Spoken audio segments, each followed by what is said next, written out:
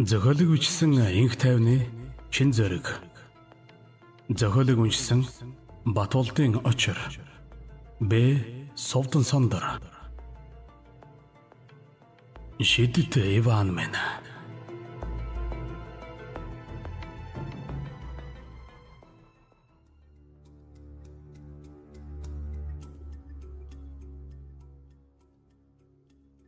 Эртээ урт цагт ах トゥ хоёр Иван амьдран суудаг байжээ. Ээжээ, ээж, Иван гэж ямар сонин нэр вэ? Аа, энэ нэр бол Орс нэр ахгүй юу? Энэ үлгэр чинь Орс ардын үлгэр болохоор хүмүүс нь биднээс өөр өөр нэртэй байдгийг. гэж Ланы бүдгхэн гэрэлд сувдан бүсгүй хүүдэн тайлбарлаж суулаа. Түүний хүүг бишрэлт гэн Тэр 5 настай. Ээжийнхээ үлгэр ярихыг анхааралтай сонсож дуусгасан бишрэлт нэг их уртаар санаа алдснаа их л гунигтайгаараа. Ээжээ энэ үлгэр дээр гардаг шиг шидэт бүтээлэг манайд байсан ч болоосай. Тэгвэл хоёулаа хамгийн дуртай гой гой юм гаргаж идэл хизээч үлэхгүй авах байсан да. Хэмээн өгүүлэхт нь сувдан хүүгийнхээ толгойг илбээд. За Миний хүү одоо сайхан унтчих. Магадгүй зүудэндээ зөндөө гой гой мэдэж гин гэж зөөдөлж магадгүй л юм. Ээж нь маргааш ажилласаа мөнгөтэй ирээд хоёулаа чиний дуртай ямиг авч иднэ. За юу. гэж хэлээд сэвэлгийг нь үнэрлэв. Бяцхан хүү ээжийнхээ гарнаас атгаад амандаан инээмсэглэл тодруулсаар удалгүй унтаад өглөө. Зовдон хүүгэн унтсны хойно өндийн босоод газарт асгарч зутгсан хоолыг хаман цэвэрлэлээ. Төрүүхэн л түүний нөхөр гэхээр согтуу орж ирээд баахан лагсам тавиад гарсан ажээ. Тэгтэл учиргүй би та хоёрыг тижээж байна. Ямар хиддэг нохоонууд вэ гэж хашгираад тэдний сүүлчийн мах гурлан шавхаж хийсэн оройн хоолыг нь татаж асгасан нь энэ юм. Зовдонгийн нүднээс өөрийн ирэхгүй нулимс мэлэмрэн лааны бүдгхэн гэрэлд хэн нэгнээс тайтгарл ирэх гэсэн мэт умгар гэрээн тойруулан харлаа. Тэр нулимс цэлгэнсэн нүдэрэн харц тойруулан байснаа бяцхан хүүгийнхээ инээмсэглэж буй царайг хараад өөрийн ирэхгүй хайрлан өрөвдөж түүнийг нь тэрэн авлаа. Иш миний хүү ээжигээ уучлаарай. Жамаага өлсгөж цангааж байгааг минь уучлаарай. Миний хүү зүутэндээ хамгийн дуртай хоолоо идээд жаргалтай байгаа мó. Тэгээд л инээмсэглээд байгаа мó. Гэж хэлээд л хүүгэн тавирын хэсэг зур мэгшин уйлжээ.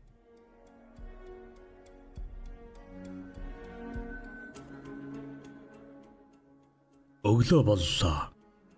Бишрэлт хүү нүдэ нуглан өндийгөөд харвал ээж нь ажилдан явчихжээ. Төвний ээж сувдан нэгэн хувийн байгууллагад үйлчлэгч ажил хийдэг байв.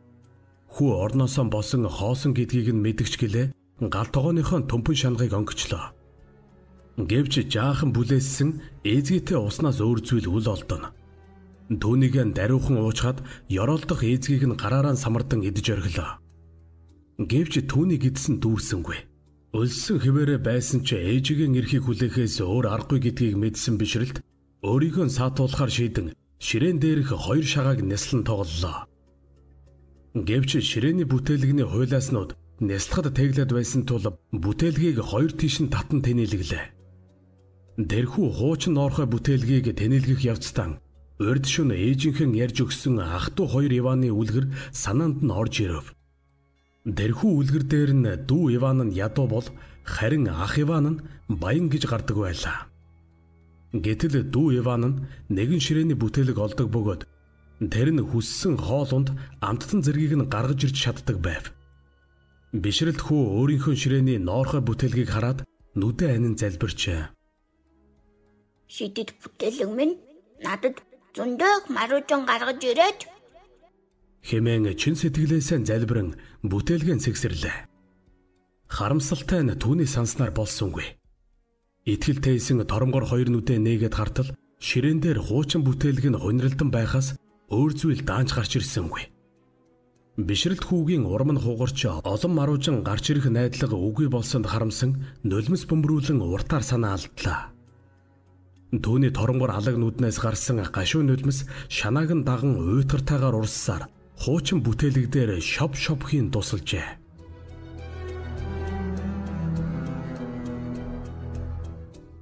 Өд болох үед сувдан сая нэг ажил нь тарж тор дүүрэн зүйлс барьсаар гэрлүүгэн яаран ирэв. Тэр хүүгэн өдөржин хоосон суугаа гэдгийг мэдэж байсан ч үнэндээ эртэрж яагаад чадаагүй юм. Аз болж энэ өдөр түүний цалин буусан тул ийхүү яарч сандран ойр зуурын зүйлс замаараа аваад ирж байгаа нь энэ юм. Тэр хаалганын орж ирээд Миний хүү ээж нь зөндөө гоё юм авчирлаа. Миний хүү ээжигээ зөндөө хүлээсэн нь. Хэмээн ихэд баяртайгаар хилээд хоймор зүг харбал хүүгийнх нь аав баярт ирсэн харагдав. Тэр ихэд жаргалтай бишрэлтийг өвөр дээрээ суулгачихсан ширээ дүүрэн халуун хоолунд амттан дүүрэн тансаглаж байлаа. Оо, миний ханчна ийм их хоолундтай байж ахаад дэлгүүрээс юм зөөсөөр л байна. Хаанаас ийм их мөнгөтэй болов? Арай нууцаар баян залуутай сүжрээд байгаа юм биш үстэй аа. За, за за. Чи бит хоёрыг баян нь байдгаа баралганч тоох биш. Харин цэвэрлэгч хийгээд овоо цалинд хүрсэн үү? Гэхмэд ойлгомжгүй зүйлс асууж даапалж гарав. Тэгтэл бишрэлт аавынхаа өвөр дээрээс үсрэн буугаад ээжийнхэн урд ирээд Ээжээ та бид хоёр дахиж хизээж үлсэхгүй болсон. гэж хэлээд тэврэн авав. Гэвч сувдан юу ч ойлгосонгүй. Тэр хүүгэн тэрч өргөд нөхрийнхөө зүг айдас хурсан нүдээр харан зогсож байтал цаадах нь идэж ууж хансан бололтой эхэл маадгар шүд амаан чигчлэн босоод энэ хүүхэд ингээд л сонин үлгэр шиг юм яриад байгаа да. Намаг орж ирснээс хойш ширээний бүтээлэг яасан ч гинөө. За за тэр вэ? Өнөөдөр мөө хүүгээ бодоод чамд гар хөрөхгүй. Гэдэс сатгалан болохоор уурч хөрөхгүй байна. Харин чи надад хэдэн цагаас өгчих юм байгаа сте. Тэрэг чинь л би аваад явлаа. Хэмээн өгүүлв.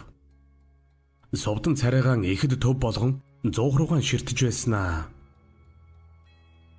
Хүү бит хоёрт чамд өгөх мөнгө байхгүй. Миний авсан цалин арай гэж л хүрдэг. Чи зүгээр л явж үз. Чамааг эхнэр охин хоёр чинь хүлээж байгаа эцтэй.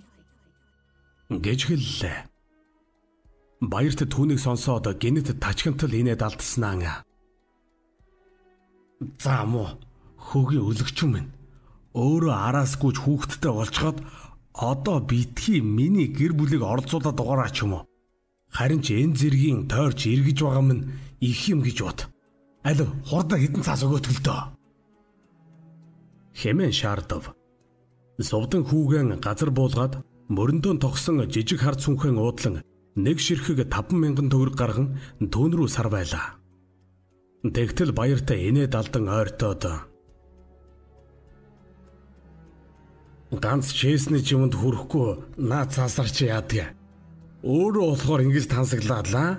Би болохоор болохгүй дээ. Алив надад өгөх. Гэснээр түүний хар цүнхийг нь булаах гэв. Зовдон түүнтэй цүнхээ булаалдан ноцолдож байтал цүнхний нарийнхан оосрон тасран тэр арагшаа хатавч налан унж орхилоо. Энэ үед бишрэлт уйлсаар ээжийг нь тэрэн авав. Совдонгийн дуг шалбаран цус шүүрчээ. Тэр баяртыг аргадан гуйж хөлнөөс нь тэрврээд багч болов мөнгө үлдээхийг хүссэн боловч тэр түүний бүх цалинг нь хуу хаман аваад гэрээс гарч одов. Ээж хүү хоёр бие биенээ тэрэн уйлсаар хоцорчээ. Ээжээ, ээжээ та битгүү уйлал та. Одоо мөнгөгүй байсан ч хоёулаа ахиж үлэхгүй ээжээ. Хэмээн мөн л уйлан өгүүлэх бишрэлтхүү ээжигээ аргадан нулимсыг нь арчиж өгч байлаа. Удтал уйлсан ээжхүү хоёр саяныг тайвширч босцоолоо. Бишрэлт ээжигийн хөтлөн ширээний ард суулгаад Ээжээ, энийг хартаа.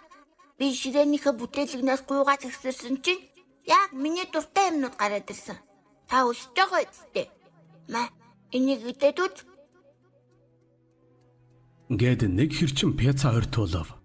Совдан нулимсаа шувтран урт амьсгаа аваад.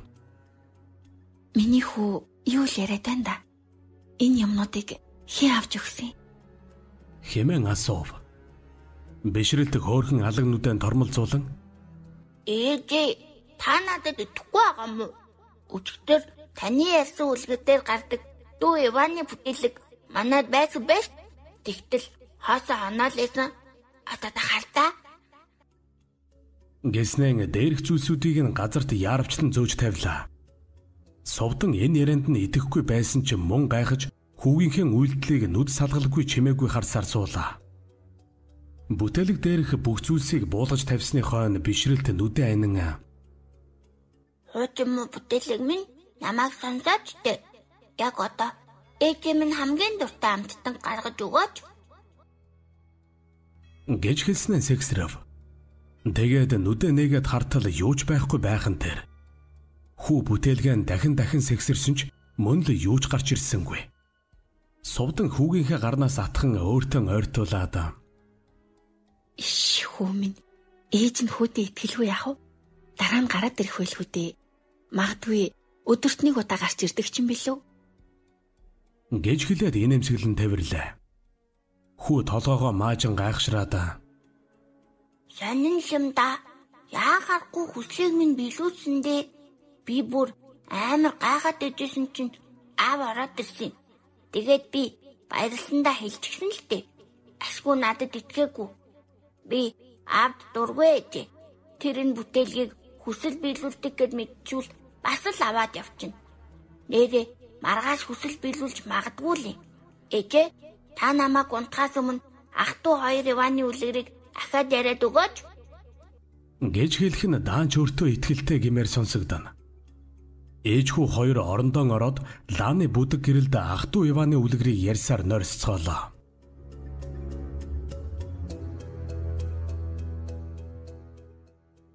Маргааш өглөө нь болов.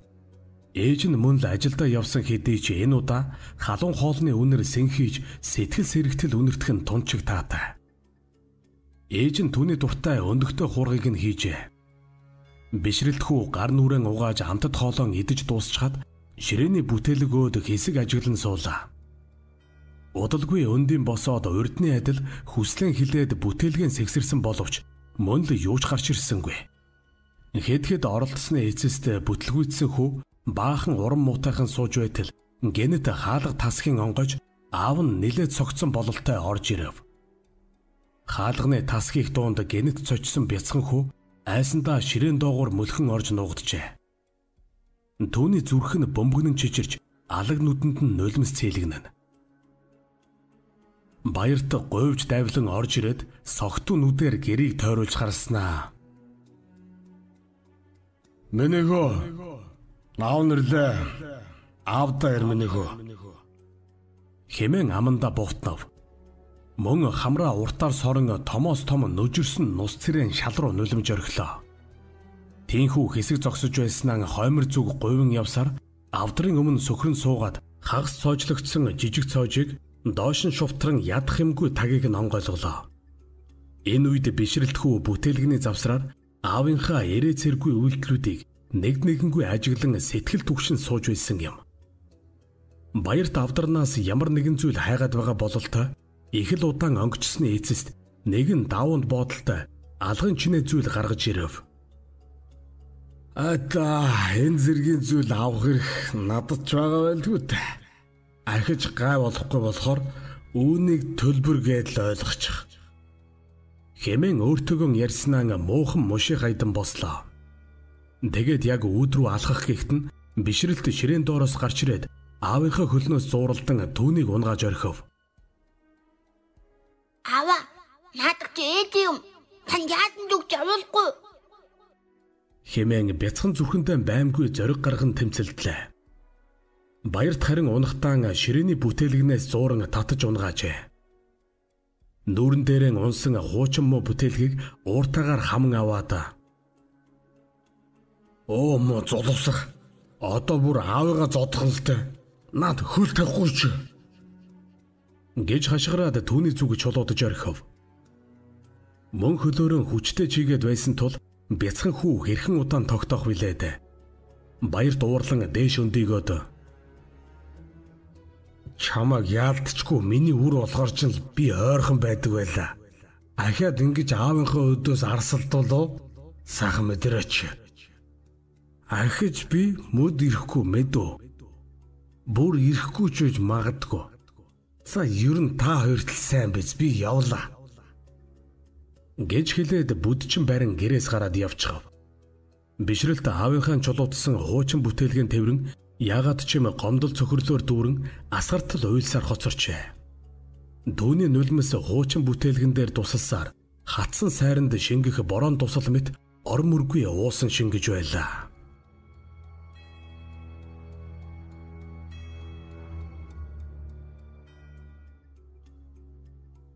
Өдөш болж сувдан ажилла таран ирлээ.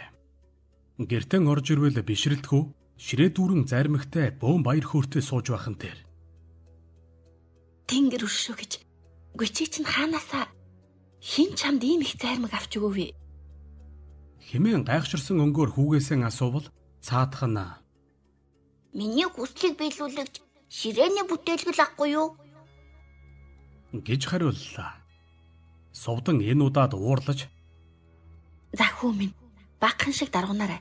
Ахиж асуухгүй шүү чамаас. Хэн авч өгöd байгаа? Тэр эцэг шүү юм чинь авч өгсөн болоод байгаа мó? Хэлэхгүй юу чи? А? Хэл чи. Гэд саяхан ширээний ард маадгар суусан хүүгэн хідэнтэй жанчиж гарав. Тэр гайхахаас гадна бас айх шиг. Үнэндээ хэрхэх ухраач мэдэхгүй инхүү хүүгэн жанчиж үннийг хэлүүлэхийг хүсэв. Хүү ойлгонон уучлал хүсчээ. Ээжи, ээжи хэмээн орилно. Хүү ширээ налан суусан тул түүнээс бөмбөрөх нулимсэн тусал мөн л бүтээлгийг ундаалах мэт уусан шингэх ажээ. Ээж нь сая нэг тайвширсан бололтой гэнэтхэн хүүгэн өрөвдөн Миний хүү ээжигээ өршөө. Ээж нь буруутай. Ээжигээ уучлал миний хүү. Хэмээн уйлсаар тэрэн авлаа.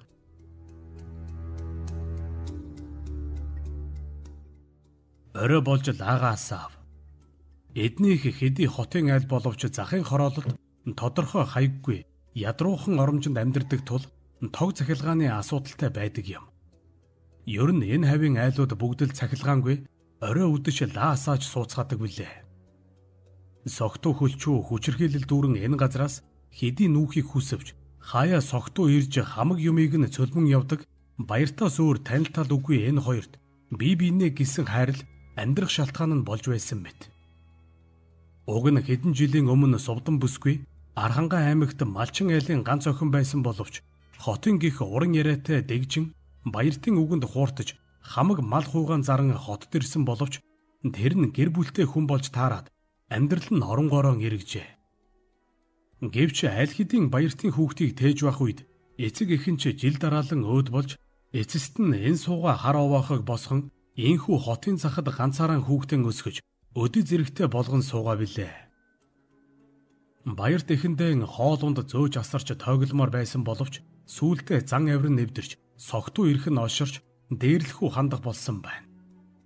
Сувдан уг нь ажил хийж мөнгө хурааж байгаад энэ газраас нүй нутаг буцыг гэж шидээд хідэн төгрөг нууж байсныг нь баярт түүний эзгүй хойгуур нэгжин олоод бүгднгээр нь архиваад уучсан удаатай.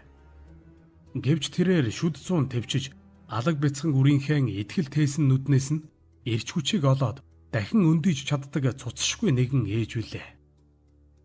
Тэр ийхүү өнгөрсөн бүхий л хар бараан дурсамжаан бодон нэгэн зүйлд гөлрөн байтал. Ээж би тань дахиад үзүүлье. Тэгтээ заримдаа хүсэл биелүүлээд заримдаа биелүүлдэг юм уу? Тэгтээ миний Иван бүгдийг чаддаг шүү. Гэт бүтээлгнээсээ атхан нүдэн анлаа. Ээж нь хуучин муу дурсамжаан бодлоосон хаяад хүүгийнхээ зүг өхөөрдөн харж суулаа. Юу вэ? Миний хүү энэ бүтээлхэндээ Иван гэж нэр өгсөн юм уу? Гэвэл хүүн нүдэн ансан чихтэй толгой дохиод Шидэт Иван минь намайг сонсоод та энэ удаа заавал хүслийг минь биелүүлээрэ. Миний ээжийн хамгийн дуртай амттан гаргаж өгөөч дээ. Гэж хэлснээр бүтээлхэн сэгсэрж орхив. Гэтэл саяхан л хоосон байсан бүтээлгэн дээр ээжийнхэн дуртай тоор жимс, самартай шоколад зэрэг олон амттай зүйлс гарч ирсэн байлаа. Тайван суусан сувдан гинэт гайхан алмарч тим гэхийн аргагүй хоолоогоор дуу алдан арагшаа савн унлаа. Бишрэлтхүү харин инээд алдан Ээжээ би үнэ хэлсэн байгаа гэдээ надад итгэхгүй лээсэн. Та өшөө гоё юм хүсч олсон шүү. Миний ява гаргаал ирнэ. гэж хэлээд ээжигийн шоолон баахан инээлээ. Сувдан сандран босоод Миний хүү наашир наатаас авалт миний хүү наашир гэж айх гайхах зэрэгцэн сандран шивнэв. Зүгээрээ. Та байгаа юм уу? Би танд гоё юм гаргаад ирэх үү? Гэснэн дахин бүтээлгэн барин нүдэн анлаа. Тэгтэн сувдан хурдлан босч хүүгийнхээ гарнаас атгаад битгий миний хүү ээж нь гойж. Хоёулаа эндээс яг одоо явъя. Наатаа тавьчих миний хүү. хэмээн хоолой чичрэн өгүүлээд гэдрэг харан авдран уудлав. Тэр ямар нэгэн зүйл баахан хайсны эцэст хүүдэ хандан Миний хүү өнөөдөр аав нэрсэн үү? Тэгсээ ээжээ. Аав шал охтоо ирээд таны имийг аваад явчихсан. Дахиж ирэхгүй гэдээсэн. хэмээн уйлгнан өгүүлв. Сувдан Монновш аавын минь үлдээсэн хөөрхийг хүртэл натаас авлаа гэж юу? Ястай. Адгийн шаар юм да. Чамтай хийж таартгэл юм бол аланда. Хэмээн хашгираад нүрээ даран цөрхөн уйлв. Хүүч мөн ээжигээ даган ширээ налан уйллаа. Түүний нулимс мөн л хуучин бүтээлгийг ундаалan урссаар. Хүү гинэт толгой өндийгөөд гараараа нулимсаа шувтран Шидэт ивамын намайг сонсоод ээж минь хөргийг гаргаж өгөөч.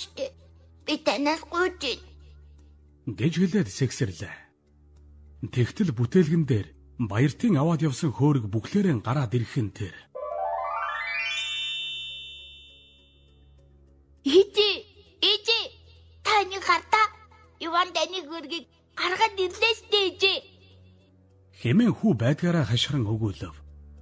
Сувдан тонгон уйлж байснаа зог тусан нулимс дүүрэн нүдээр ширээн дээрхийг харвал аавынх нь үлдээсэн хуучны халтар манан хөөрг дүрээрэн харагдаж байлаа. Тэр хөөргийг шүүрч аван эргүүлж тойруулан үзвэл яахарахгүй л мөн байв. Сувдан хуучирч муудсан ширээний бүтээлэг рүү ширтээд Энэ үнэхээр үнэн гэж юу? хэмээн амандаа шивнэхэд хүүн ээжигээ хүзүүдэн тэврээд Үнэ ээжээ. Миний шидэт иван бүгдийг гаргаж ирч чадна. Харин та ахиж битгүү уйлаарай. гэж хэлээд нулимсыг нь бяцхан гараараа арчин өгч байлаа.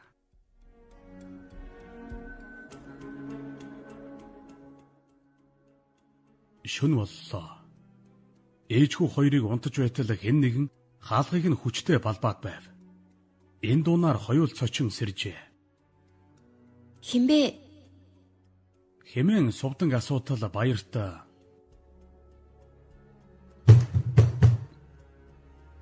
Би өнө хаалга. гэж хариулав. Дууны өнгнөөс нь сонсвол тэмч согтуу биш бололтой. Сувдан хагас нүцгэн босч лаган асаагаад хаалгаан тайлж өгтөл баярт нэгэн биерхүү залуутай цуг орж ирлээ.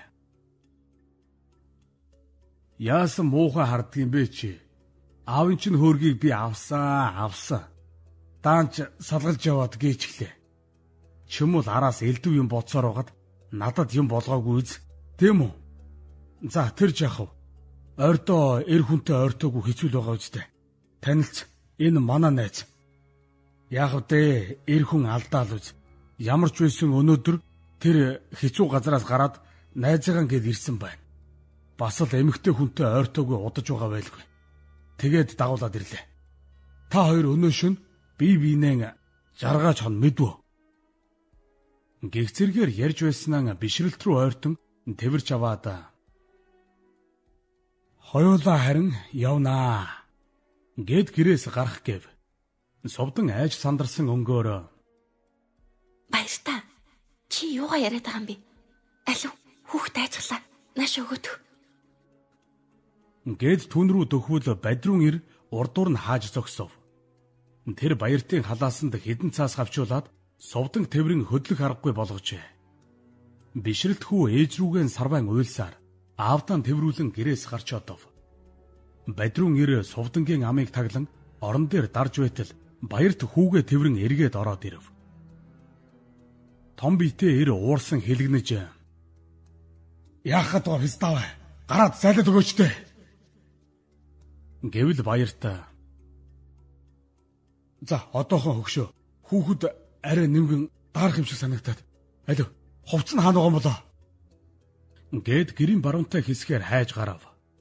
Бишрэл дээж рүүгэн бахиран уйлсаар. Сувдан амаа таглуулан хийлт хийчигнэн. Том биетээ ир бүрчих уурсан. Зам лалар минь ярьсандаа багаар би бүгдийг чинь алчхан шүү мөн овснууд минь. Хэмээн занвал баярт айсандан ширээний хуучин бүтээлгийг хуу татан гэрээс яарвчлан гарлаа. Налгар 8 сарын шөнө сэрүүхэн ажээ. Бишрэлт хүүг орноос нь нүцгэн авч гарсан тул арга буюу хувц авахаар эргэн ороод инхүү хөөгдөн гарсан юм. Тэр ширээний хуучин бүтээлгээр бишрэлт хүүг ороогоод хаашаа ч юм уруудан алхаж явлаа. Бишрэлт хүү уйлсаар л. Түүнийг ороосон бүтээлэг цангаагаан тайлах мэт нулимсыг нь шингэн авсаар. Удалгүй баярт явсаар нэгэн хашааны гадаа ирж хаалгыг нь хүчтэй балбав. Гэтэл дотроос нь хинж гарч ирсэнгүй. Удтал балбаж байснаа. За чи эндээ байж ба мэдв. Яваад үзээр алганы амт үзүүлнэ гэж мэдэрэ мэдв. Хэмээн сүрдүүлээд хүүг газарт буулгаад хашаа даван ороод явчихав. Бишрэлт хүү хашааны завсраар аавыгаа харж байтал цаатах нь нэгэн навсгар шавран байшин руу яваад орлоо. Тэр хэдий даарч байсан ч бүтээлгэн газар дэвсэн Шидэт Ивамын намайг сонсооч ээжийн хажууд байгаа муухай ахыг хурдан халдуулаад өгөөч дээ. гэж хэлээд бүтээлгэн сэгсрэв. Тэгтэл бүтээлэг хормын дотор цусан улаан өнгөтэй болж хувирлаа. Хүү гайхсан боловч хүсэл нь биелсэн гэдэгт итгэн инээмсэглэл тодруулан улаан бүтээлгээрээ дахин бие ороон зогсов. Удалгүй баярт гарч ирээд түүнийг дагуулan нөгөө шавар байшин руу орлоо. Тэр үнэндээ бүтээлгний өнгө хувирсныг анзаараагүй бололтой. Байшинд орвол саяхан сэрсэн ч архин гүйцэд гараагүй бололтой. Хоёр эрэм хоёр ухтан авлаа. Баярт хүүгээ мухрын нэгэн орлоо шидчгээд халааснасаа арх гарган мулталж тэд шүнжин архитаж хонцгоожээ. Өглөө боллоо. Баярт шал согтуу хүүгэн дагуулan гэрийн зүг өгсөв. Тэр үүдэнд ирээд хаалга тогшин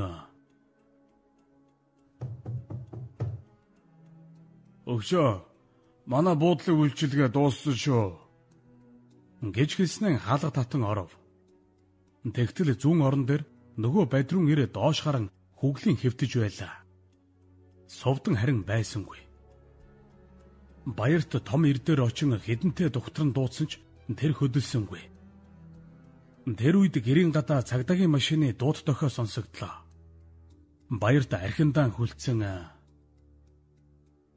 Оо мөн шулам хүн алчгаад зүгтчтэй янзан. Гэж хэлээд инээсэн болж байтал гаднаас цагдаа нар орж ирэн түүнийг баривчилж хэргийн газрыг битүүмжлэв. Харин машин дотроос сувдан гүйн гарч ирээд бишрэлтийг дуудан тэврээд ээжхүү хоёр баахан уйлалдцгаажээ. Дээрх явдалд хэрэг үүсгэн шалгаж том ирийн үхэл гадны нөлөөгүй болох нь тогтоогдож харин баярт бусдыг хүчээр биег нь үнэлүүлсэн хэрэгээр шоронд оров.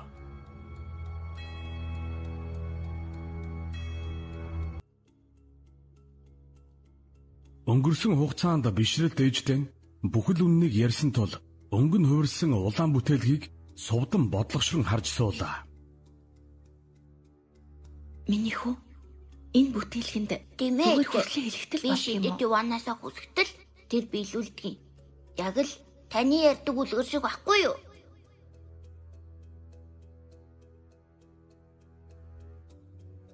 Химэн тайлбарлав. Тэгснэн бүтээлгэн барин нүдэн энаад Шидэт вамын намайг сонсоод ээжүүд хоёрт хоньны шалсан хавраг аан тэгээд Агшаасан будаа гой ундаа амттан зэргийг гаргаж өгөөч. гэж хэлээд сэгсрэв. Гэтэл энэ удаа юу ч гарч ирсэнгүй. Улаан бүтээлэг яг л байрандаа аниргүй дэлгэгдэв. Хүү гайхан дахин дахин оролцсон ч тусыг эсолжээ. Ээж нь бүтээлгийг барин эргүүлж тойруулж харснаа. Ахиж юм гаргахаа болж байгаа болов уу? Харин тийм юм болов. Гэхдээ дандаа намайг уйлсны дараа л хүслийг минь бишүүлээд байдгийг. гэж хэлв. Сувдан сэрдэсхийн Юу гинэ миний хүү? Уйлахаар гівүү. Тэр сонсдгийн байх та. Тэгвэл миний хүү уйлж байгаа юм шиг дууртаа. Хи хи гэд хажууд нь хилээд үз. гэв. Бишрэлт хүү яг л уйлж байгаа мэт гиншигнээд төрүүчийн үйлдэлэн давтвал мөн л биелсэнгүй. Зовдон улаан бүтээлгний зүг нухацтайгаар ширтсээр. Гэвч тэр удаан харах тусам ямар нэгэн далдын хүчинд ховстуулаад байгаагаа өөрөө ч анзаарсангүй. Тэр яагаад ч юм улмал шонох болж Одоо нэг л удаа хүсчихвэл болох юмсан. Мөнгө. Тийм ээ. Их хэмжээний мөнгө л хүсэх хэрэгтэй. Тэгвэл ээж хүү хоёр хинээс ч гойхгүй. Сайхан амьдарч чадна шүү дээ. гэж хэлээд Миний хүү ээжигээ уучлаарай. Энэ магадгүй чин сэтгэлийн гомдол мэдэрдэг баха. Ээж нь ахиж хизээч хүүгээ задахгүй заа юу.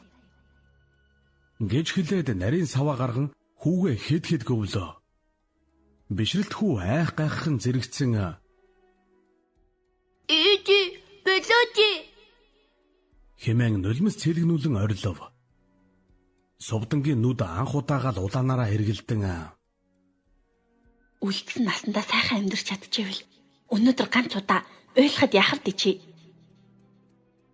хэмээн ороолгосоор байв.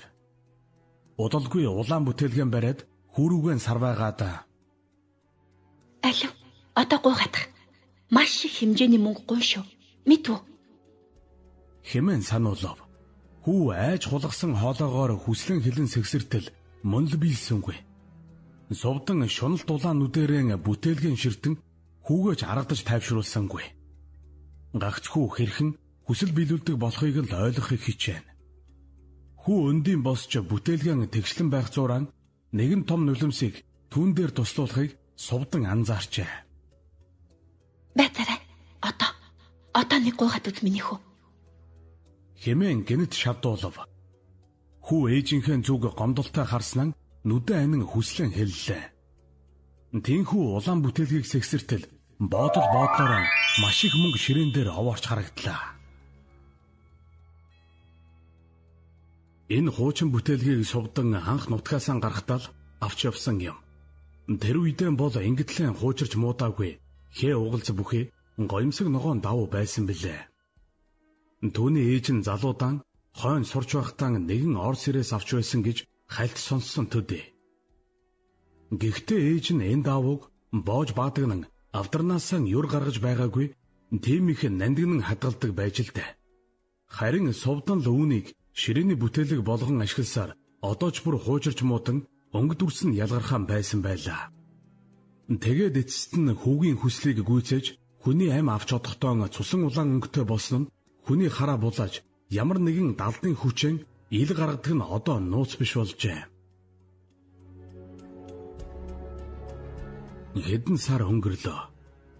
Сувдан бишрэлт хоёр хотын төвд тансаг байранд орж хүссэн зүйлээ идэж ууж өмсөж зүүж байлаа.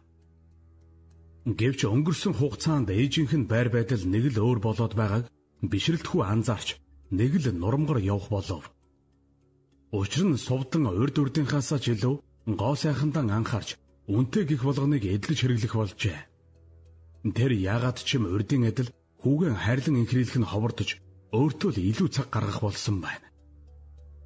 Харин нөгөө хүсэл биелүүлэгч улаан бүтээлгэн Томос Том Сефэнд хадгалж баттай кодлон түгжээд хүүгээсээ хүртэл нуух болсон юм.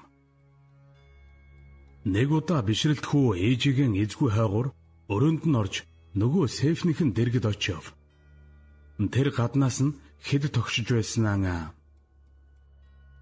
Шидэт Ивамин намайг сонсож гин үү? Чи ганцаардж гин үү? Харанхуй дайж гин үү? Үнэн дээр би ч гэсэн ганцаардж гин. Ээж минь намайг урдын адил хайрлахаа болсон юм шиг санагдаад байна. Би яах ёстойгоо мэдэхгүй юм. Чамаас гуйвал чи ээжийг минь буцаагаад хуучин хэвэнд нь оруулж чадах л байх та. Гэт шивнээд уран мутаахан эргээд хартал өрөөний үүдэнд ээж нь зогсож байх нь тэр. За бүр чамаг энд битгий орж ирж вэ гэж хэлсэн баха. Юу гинэ? Ээжийг буцааж хэвэн болгооч гэсэн үү? Би чамайг хайрлаагүй яасан? А? Дулаан тоглог байр, амттай шимттэй хоолунд дуртай хувц цунрыг чинь авч өгөөгүй юу? Яасан? Буцаад гуйлах чи амьдралаа санаа юу чи? Тих гээгүй юм бол ахиж энд битгий орж ирээрээ. Одоо хурдан өрөө рүүгээ явж онт. Хэмээн загнаж цусан улаан нүдэрэн цоо ширтэн ширвэтэв. Ээжийнх нь гарч шоутх нь ихсэж сүүлдээ бүр элдв залуучууд дагуулan гэртээ хонуулах болов. Нэг өглөө ээж нь хүүгэн эрт дуудаж сэрээгээд Ээжихүү басаарай. Өнөөдөр манайд баахан өрн нэгдэг болоод ирнэ гинэ. Яста баларсан. Нөгөө их мөнгө чинь дуусчихсан. Ээжигээ арай шоронд явуулахгүй байгаа эдтэй. Гэснэн нэг гартаа барьсан хүйтэн усыг дуустал нь залглаад нөгөө гартаа барьсан улаан бүтээлгийг хүүдэн сар байв. Тэгснэн Миний хүү ахаад зөндөө мөнгөөгад өгч. Харин дээрээ яриад ирсэн шиг тэнийг юм гоох гад үзээрэй чи. Тэгвэл хоёулаа ахаад л гуйлах ч юм болж хар гэртээ өлмөн зэлмээ амьдрын шүү дээ. Гэж хэлээд доош тонгон нулимс мэлэмрүүлв. Хүү ээжийнхэн архинд нэвширсэн үсийг илбээд Ээжээ би танд хартаа шүү. Харин та битгүү улаач дээ. Би хийж үгүй гэж хэлээд мөн тэрэн мэгшив. Совдан үүнийг л хүлээж байсан мэт улаан бүтээлгээр хүүгийнхээ нулимсыг яарвчлан арчаад. За боллоо. Дүрхэл. Хэмээн шавдуулав. Хүү бүтээлгэн дэлгээд Шидэт яваамын намайг сонсож бидэн дахиад зөндөө мөнгө гаргаж өгөөч гэж хэлээд сэгсрэв. Мэдээж урдын ладил бөөмбөө мөнгө бодол бодлороо тэр хоёрын өмнө овоорон гарч ирлээ.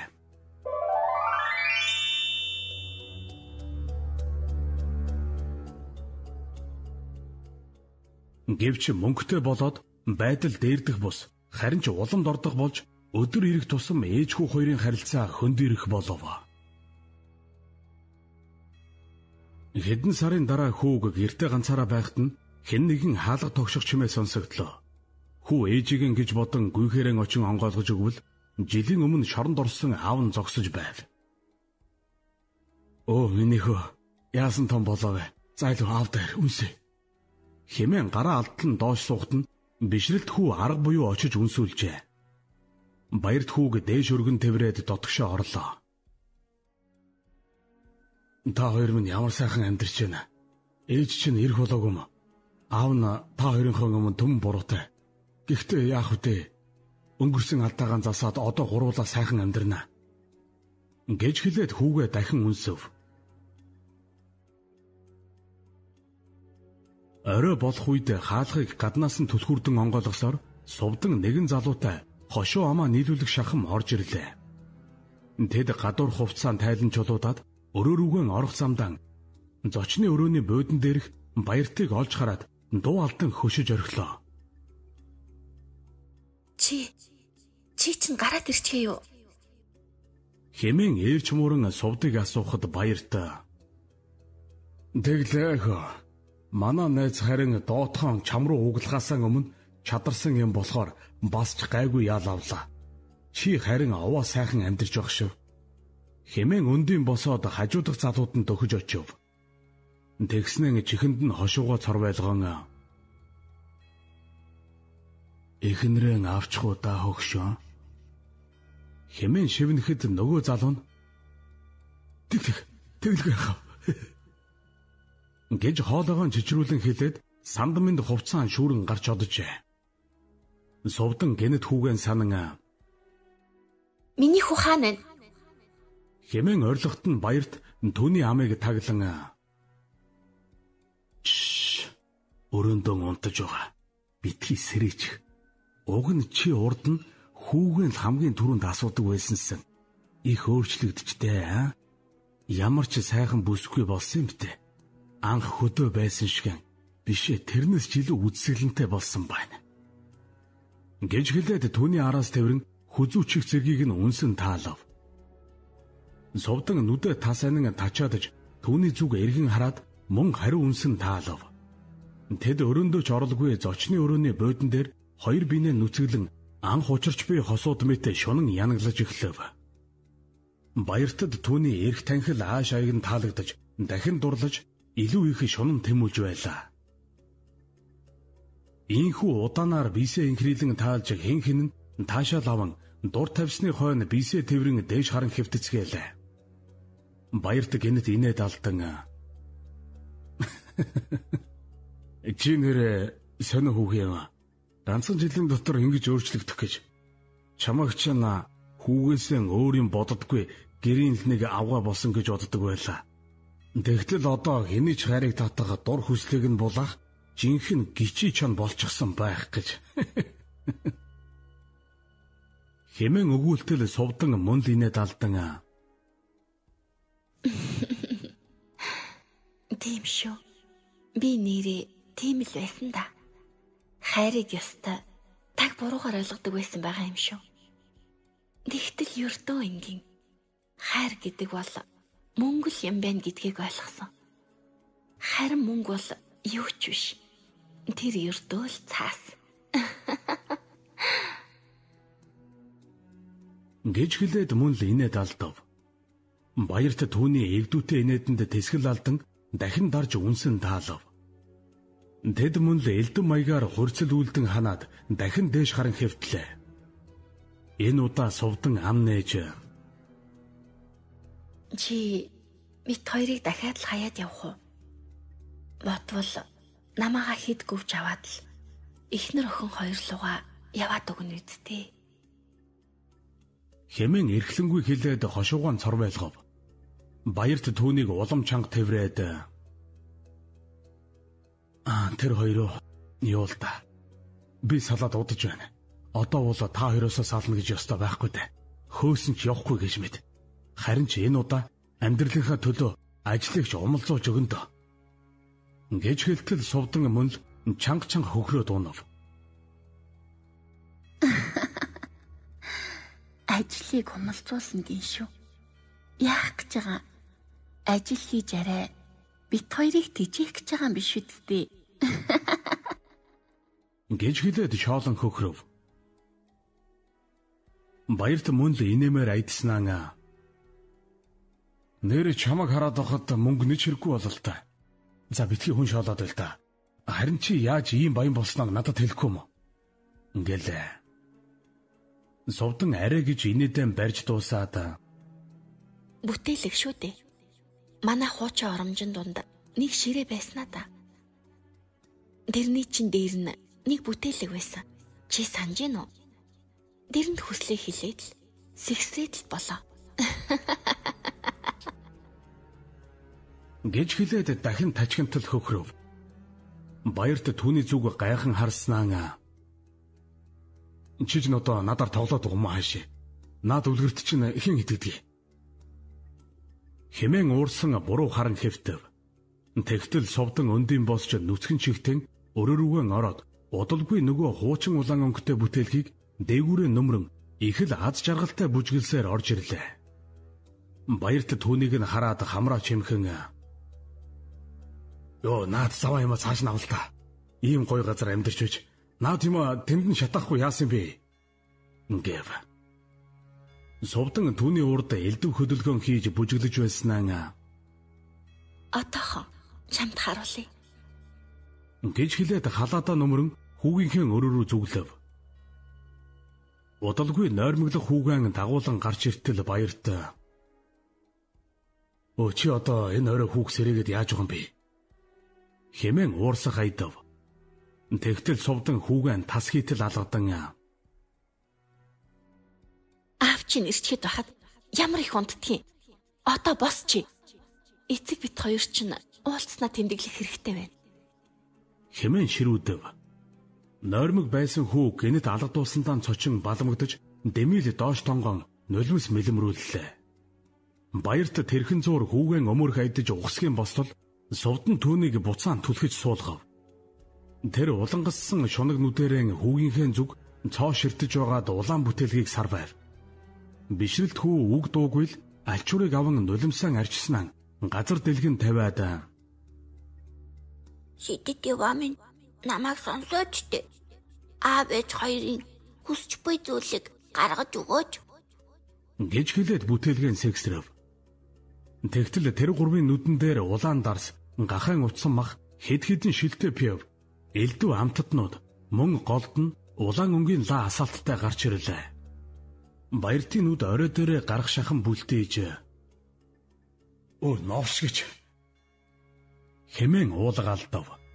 Цовдон инээд алдаж Хайрт минь харж гинөө. хэмээн түүнийг тэврэн авлаа. Хүү доглон нулимс мэлэмрүүлсээр буцаад өрөөрүүгэн гунигтайгаар алхан явлаа. Хайрт минь энд яг ямар хараал идсэн эд шиг нь болоод байгаа юм бэ? Саяны миний харсан зүйл яг үнэн үү те? Эсвэл би галзуурчаад байна уу?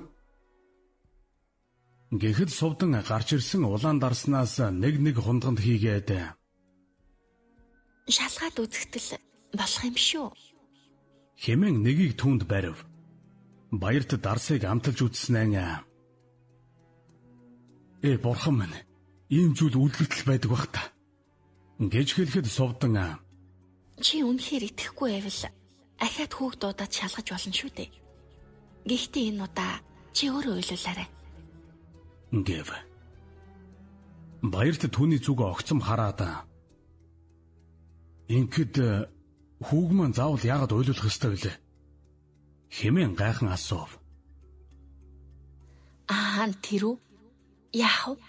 Энэ бүтээлэг тэрний нулим сарлах хоолдог байхгүй юу? Тэгээд зөвхөн бишрэлтийн үгэнд ордог зүрүүдэд байгаа юм. Чи бит хоёр шиг хүн мянга уйлаад ч юу ч гуугаад нэмэргүй. Нэрээ танай найзыг бас энэ улаан бүтээлэг алчихсан гэсэн. Тэр шүн бишрэлт намайг хамгаалж тийм зүйл гуйж байхгүй юу зайлгч нь. Гэхдээ нэрээ тэр үед танай найз над руу яг л улангассан бух шиг чичирч байсан шүү. Тэгснээ гинт хил аман татаад ёстой хөнгөө өгсөн дээ. Би бүр тэрийг бодохоор л инээ түрээд байдгийн. Тэгсэн харин манай муу ширээний бүтээлэг тэрний цусаар будагдсан уу яасан ийм улаан өнгөтэй болчихсон байгаа юм да. Гэхдээ тун онцгой. Би энэ улаан өнгийг хараад л нүд минь баг багаар нэгдсэн. Би ямар их хайрыг мэдэрсэн гэж. хэмээн багтал болгон өгүүлв. Харин үүнийг сонсож суусан баяртын инээд нь хүрсэнгүй. Тэр улаан бүтээлэг рүү удтал ширтэн сууснаа сая нэг инээд нь хурж тэр хоёр баахан инээлдэцгээв. Яг л галзуу солиотой хүн шиг амьгүй мэд хоосон инээдэр гэр дүүрэн хадаа хаажээ. Гагцхүү тэдний нүд хүртэл урдаан байгаа улаан бүтээлэг адил улаанаар шунан эргэлдэж байсныг тэд өөрсдөө ч үл мэдэв. Энэ үед бишрэлтхүүл тэдний инээдийг сонсон чихүүцэж дэрээрэн толгоогоон даран өрөөндөө хэвтэж байлаа.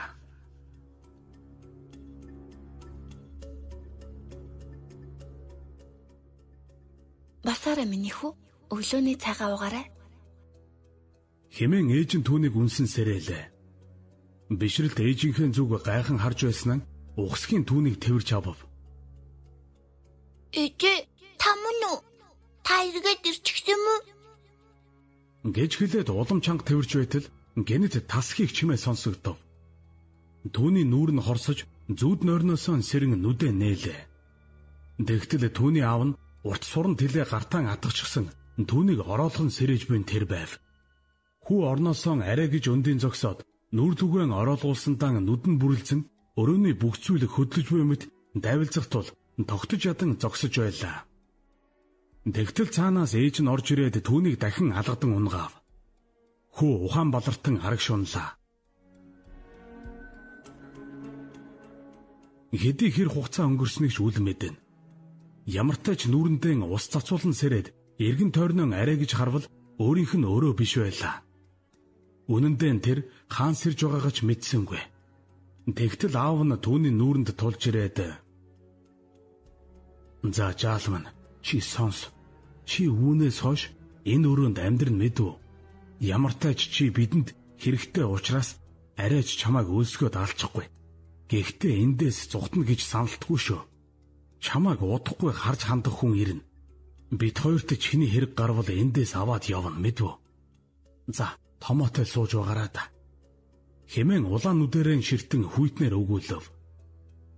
Тэр зүгээр байгаа. Арай өгчгүй эцтэй. Хэмээн сувдан баяртаас асуув. Баярт түүнийг үнсэн инээмсэглээд За яавал гэжтэй хоолтой унттай бүхэл зүйл нь байна. Ингиж нийгмээс тусгаарлаж нуухгүй бол наадах чинь нэг л өдөр өсөж томрон шүү. Тэгээд өөрийн дураар юу ч хийж мэднэ.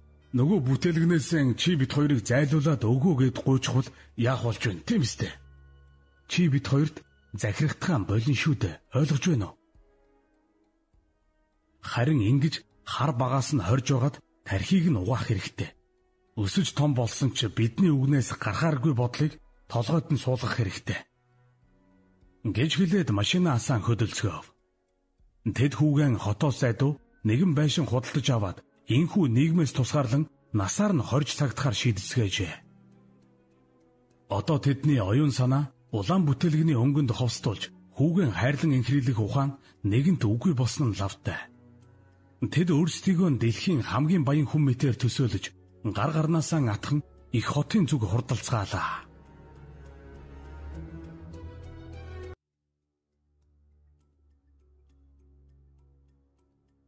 Тэд юугч худалдан авч хэдэн сар ядарч туйлдатлаан шоудан цэнгэж баяр жаргалд бэлууран байв. Тэнхүү мөнгө нь барагдаад ирэх үед л хүүдэрэн ирэн дахин мөнгөтэй болж аваад хэдэн сар алга болдог байлаа. Гэхдээ бас ч гэж хамаагүй хаж явж зүрхэлсэнгүй. Нэг нь найдвартай гих залуу бүсгүйг өндөр үнээр хөлслөн авч хүүг сэтгцийн өвчтөй гэж итгүүлэн харж хандуулдаг болов. Бүсгүй хүүг асран тойлж өвдөж сувхоо сэргийлэн тойлно. Гэвч хатуу дүрм ёсоор түүнтэй нэг ч үг дуурдаггүй байв. Мөн өрөөнөөс нэг ч удаа гаргасангүй. Хүү түүнтэй хідэн удаа үг солиг гівч ямар ч нэмэргүй байсан тул сүултэн элдвийг асууж шалгаахаач болов. Ахиад хэдэн сар болсны хойно түүний сэтгэл санаа тогтворгүй болж уур бухимдалд автах болжээ. Тэр өрөөний бүхий л зүйлийг эвдэн хэмгчиж галзууртлан орилохыг сонссон асрагч бүсгүй түүний өвчин сэдэрлээ хэмээн бодож тайвшруулах тариаг тарж аваад өрөөнөөс гардаг байлаа. Хэдийгээр мөнгөн бэлэн хүссэн зүйлдээ хурч тансаглаж байсан ч сүүлийн үед гинэт баяжсан баярт сувдан хоёрыг улсын тагнуулын газраас шалгаж тандах болов. Тиймээс дахин мөнгө хамаагүй үрж чадхан байсан тэд асар том байшингийн хоёр талд дүнсийн сууцгаах болжээ. Гэтэл энэ үед баяртын бодолд нэгэн зүйл харван орж ирлээ. Тэр гүйхээрэн явсаар сувдангийн өрөөнд орлоо. Хөш, хоёулаа амьдралаа арай сонирхолтой болгоод яасан бэ? Гэвэл нөгөөх нь ямар нэгэн зүйл хэрэгэлсэн бололтой тааз гөлрөн байснаа баяртын зүг тоомжиргүй хараад Хилэлтэй. Ингээв. Баярт түүний урдаас харж суугаад Хөөж. Өнгөрсөн хугацаанд шидэт Иванаас дандаа мөнгө гуйж байсан байх юм. Тэгээд сүултээ яалаа. Гинэт баяжлаа гэж чи бит хоёрыг шалгаж цагдаад буу юм болоогүй юу? Тэгээд бас л мөнгөөр аргалсан биз дээ. Одоо ахиад хамаагүй мөнгө үрж болох юм болцоод байгааг мэдэж байна уу? Тэгээд яач хав? Одоо юу гэсэд байгаа? Монгол төгрөгний зах зээл нь жижиг байхгүй юу да.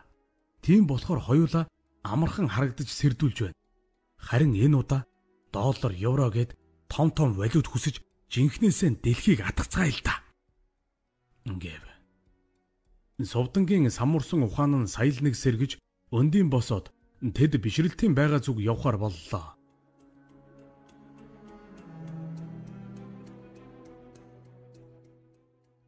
Тэд явсаар хүүгийнхэн хоригдож байгаа газар ирж дотгошоо орцгоов. Тэгтэл хүү ханан дээр ямар нэгэн зүйл сараачин сууж байлаа. Түүнийг нь ажиглавал хуучин муу жижиг гэр байх бөгөөд түүний дэргэд ээжхүү хоёр хөтлөлдсөн зогсож харагдана. Гэвч тэднийг орж ирэх үед ээжийнхээ нүрийг юучгүй сараачж байсан нь тэр байлаа. Сувдан инээмсэглэн ойртоод зургийг харж байснаа. Чи энэ хуучин моромж өгүүлээд идэх юм биз дээ. Хүсээд байвал ийм гэр аваад чамайг хорж бас чадсан шүү. Гэв. Бишрэлт хилэнтэй нүдээр ээж рүүгэн хараад. Чи мушулам. Чи бол миний ээж биш мэдүү. Агж та хоёрын нэг ч хүслийг Иван хэлэхгүй даа юу? гэж хэлээд хөмхий зүүн зогсов. Баярт уурлан Юугнаа чи? Хэмээн гараа өргөн ойртохт нь сувдан түүнийг болиулаад За яах вэ? Чи магадгүй уйдж байгаа байх л та. Чи хань хүсэж гин үү? Хөөхөн гүлэг авах уу? Эсвэл муужгаа авах юм уу? Чи бас хүслээ бит хоёрт хэлж болно шүү дээ. Гэв. Бишрэлт хүү гараа зангидан зогсож байсан нь хамаг хүчээрэн хан зохиж орилов. Би сургуульд явмаар байна. Би найзуудтай байна. Мөн навшнуудаа Намайг эндээс гаргаад хэмээн орилж угсхийн үүдний зүг гүйв. Баярт түүнийг замдан шүүрэн тэрэн өргөлөө. Бишрэлт яг л галзуу хүн шиг сарвган нь тээжлэж баяртын нүрийг самардан цовхчив. Баярт түүнийг арай гэж тэрвэрч байсан нь газарт шидэж орхив. Мөн нүрэн самардуулсандаа уурсан хэлгнэж гидсэнд нь хэд хүчтэй өшөглөж орхилоо. Хүү өвцөндөө дууч гарах сөхөөгүй атралдан хэвтэж байтал Сувд нь түүний нүр лүү улаан бүтээлгэн шидлээ. Наад нулимсаа арч хөөмин. Тэгээд аав ээж хоёртой хэдэн доллар хүсээд өгөөч. Тэгвэл бид хоёр гадагшаа явж нэг хэсэгтэй л ирэхгүй бах. Чамд амар биш гэж юу? гэж хэлээд үл мэдэг муших айдав. Хүү нулимсаан арчин босч ирээд бүтээлгэн яарвчлан дэлгэв. Шидэт иваа минь намайг сонсооч энэ муу хоёрыг гэж хэлж дуусаагүй байтал баярт түүнийг тасхийн алгадан унгав. Даан чих дуулууртай дэлгээд байсан юм а. Мөгөлөг.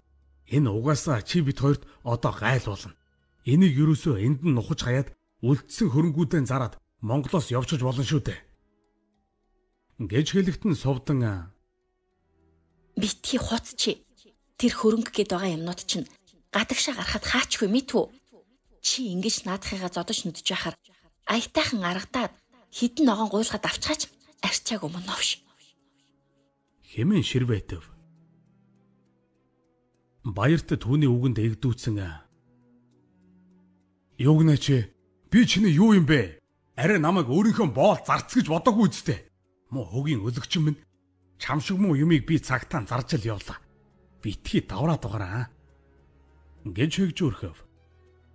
Сувд нь түүний зүг улаан хорсол нүдэрэн цочмог харснаа түүний шөвг мэт хурц гарцнаас баг зэрэг дөөлөн За хайрт минь уучлаарай да. Чамаага юу гэж зарц гэж бодох вэ дээ. Бишрэлтийг үг авахгүй болохоор нь л чамд бухимдчихлаа. Уучлаарай хайраа. гэж нэлуухан хэлснээр түүнийг тэрэн авав.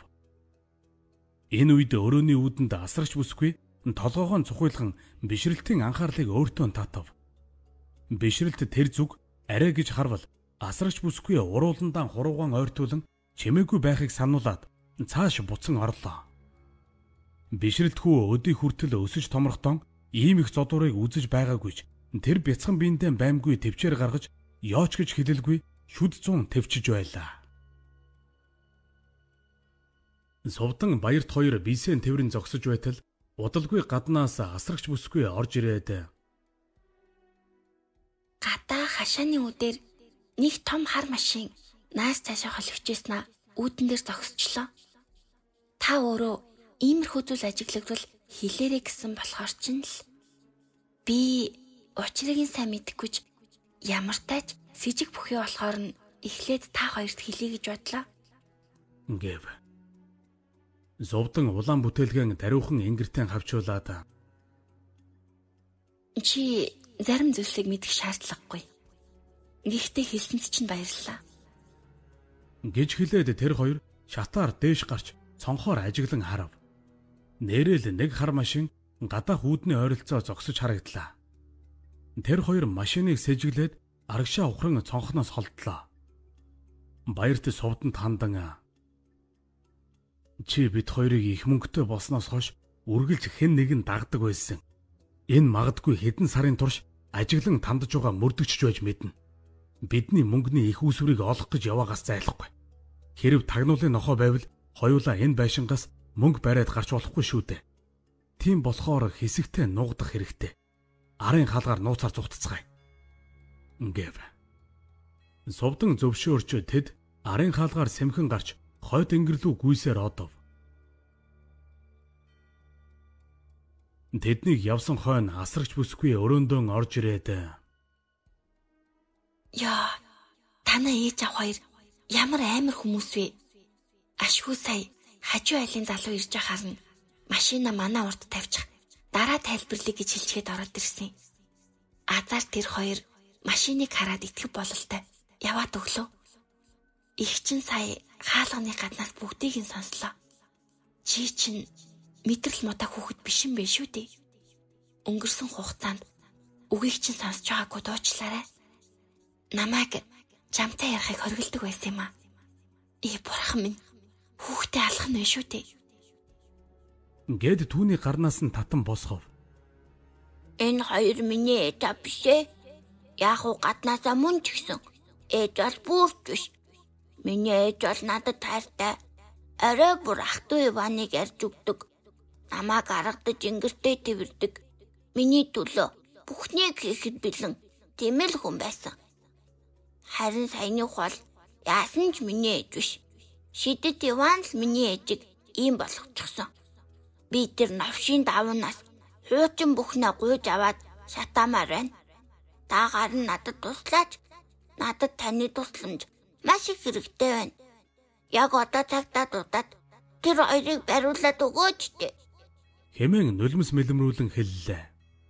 Асрагч бүсгүй хүүг хайрлан өрөвдөж ингэртэн тэврээд би чамд заавал туслана. Амлаж байна юу. Гэхдээ цагтаа дуудаж болохгүй хаа. Тэр хоёр анх надад хэлэхдээ чиний сэтгэл мэдрэлийн өвчний талаар бүх баримт чийг үзүүлсэн шүү дээ. Бүр чамайг цагдаагийн зөвшөөрөлтөд энд цагдаж байгааг сонссон. Тэд мөнгөтэй болохоор юу ч хийж чадах болсон л та. Тийм болохоор хоёулаа өөр арга л олох хэрэгтэй. Энэ залуухан асрагч бүсгүйг цэнгэг гэдэг үлээ. Удалгүй сувдан тодорхой бус дугаараас цэнгэг рүү залгаад бид хоёр ингэж явсан 2 хоногийн дараа холбоо орно. Ямар тач наад хүүхдээ сайн харж хандаарай. Гэрээс байтугай өрөө нусан ч сухуулгаж болохгүй гэдгийг мартаагүйд. Сая харахад өвчнө нэлээд хүндэрсэн харагдана. Их төвчгнөд байвал тариага тараарай. гэж хилээд утсаан таслав. Цэнгэгийн сэтгэл нь тайвширч тэр бишрэлтийг дагуулн дээш гарцгаалаа. Тэгтэл гаднаас хөршин залуу хаалга зөөлөн тогшсоор орж ирв.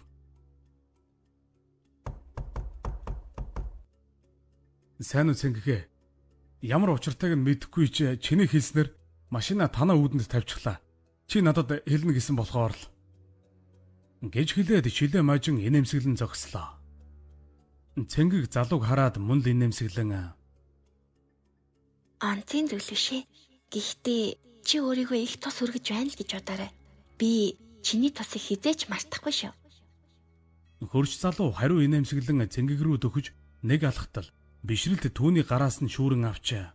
Ага та надтай хамт гадаа гараач. Би энэ хавийн газрыг сайн мэдэхгүй. Та надад заагаад өг. гэж хэлээд түүнийг чирэн гарлаа.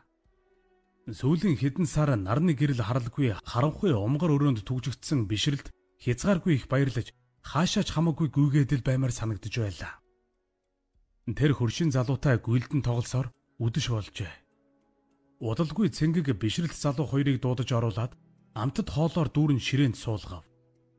Тэд инхүү анхудаа хамтдаа хооллож суух зур цэнгэг төрүүлэн ам нээж.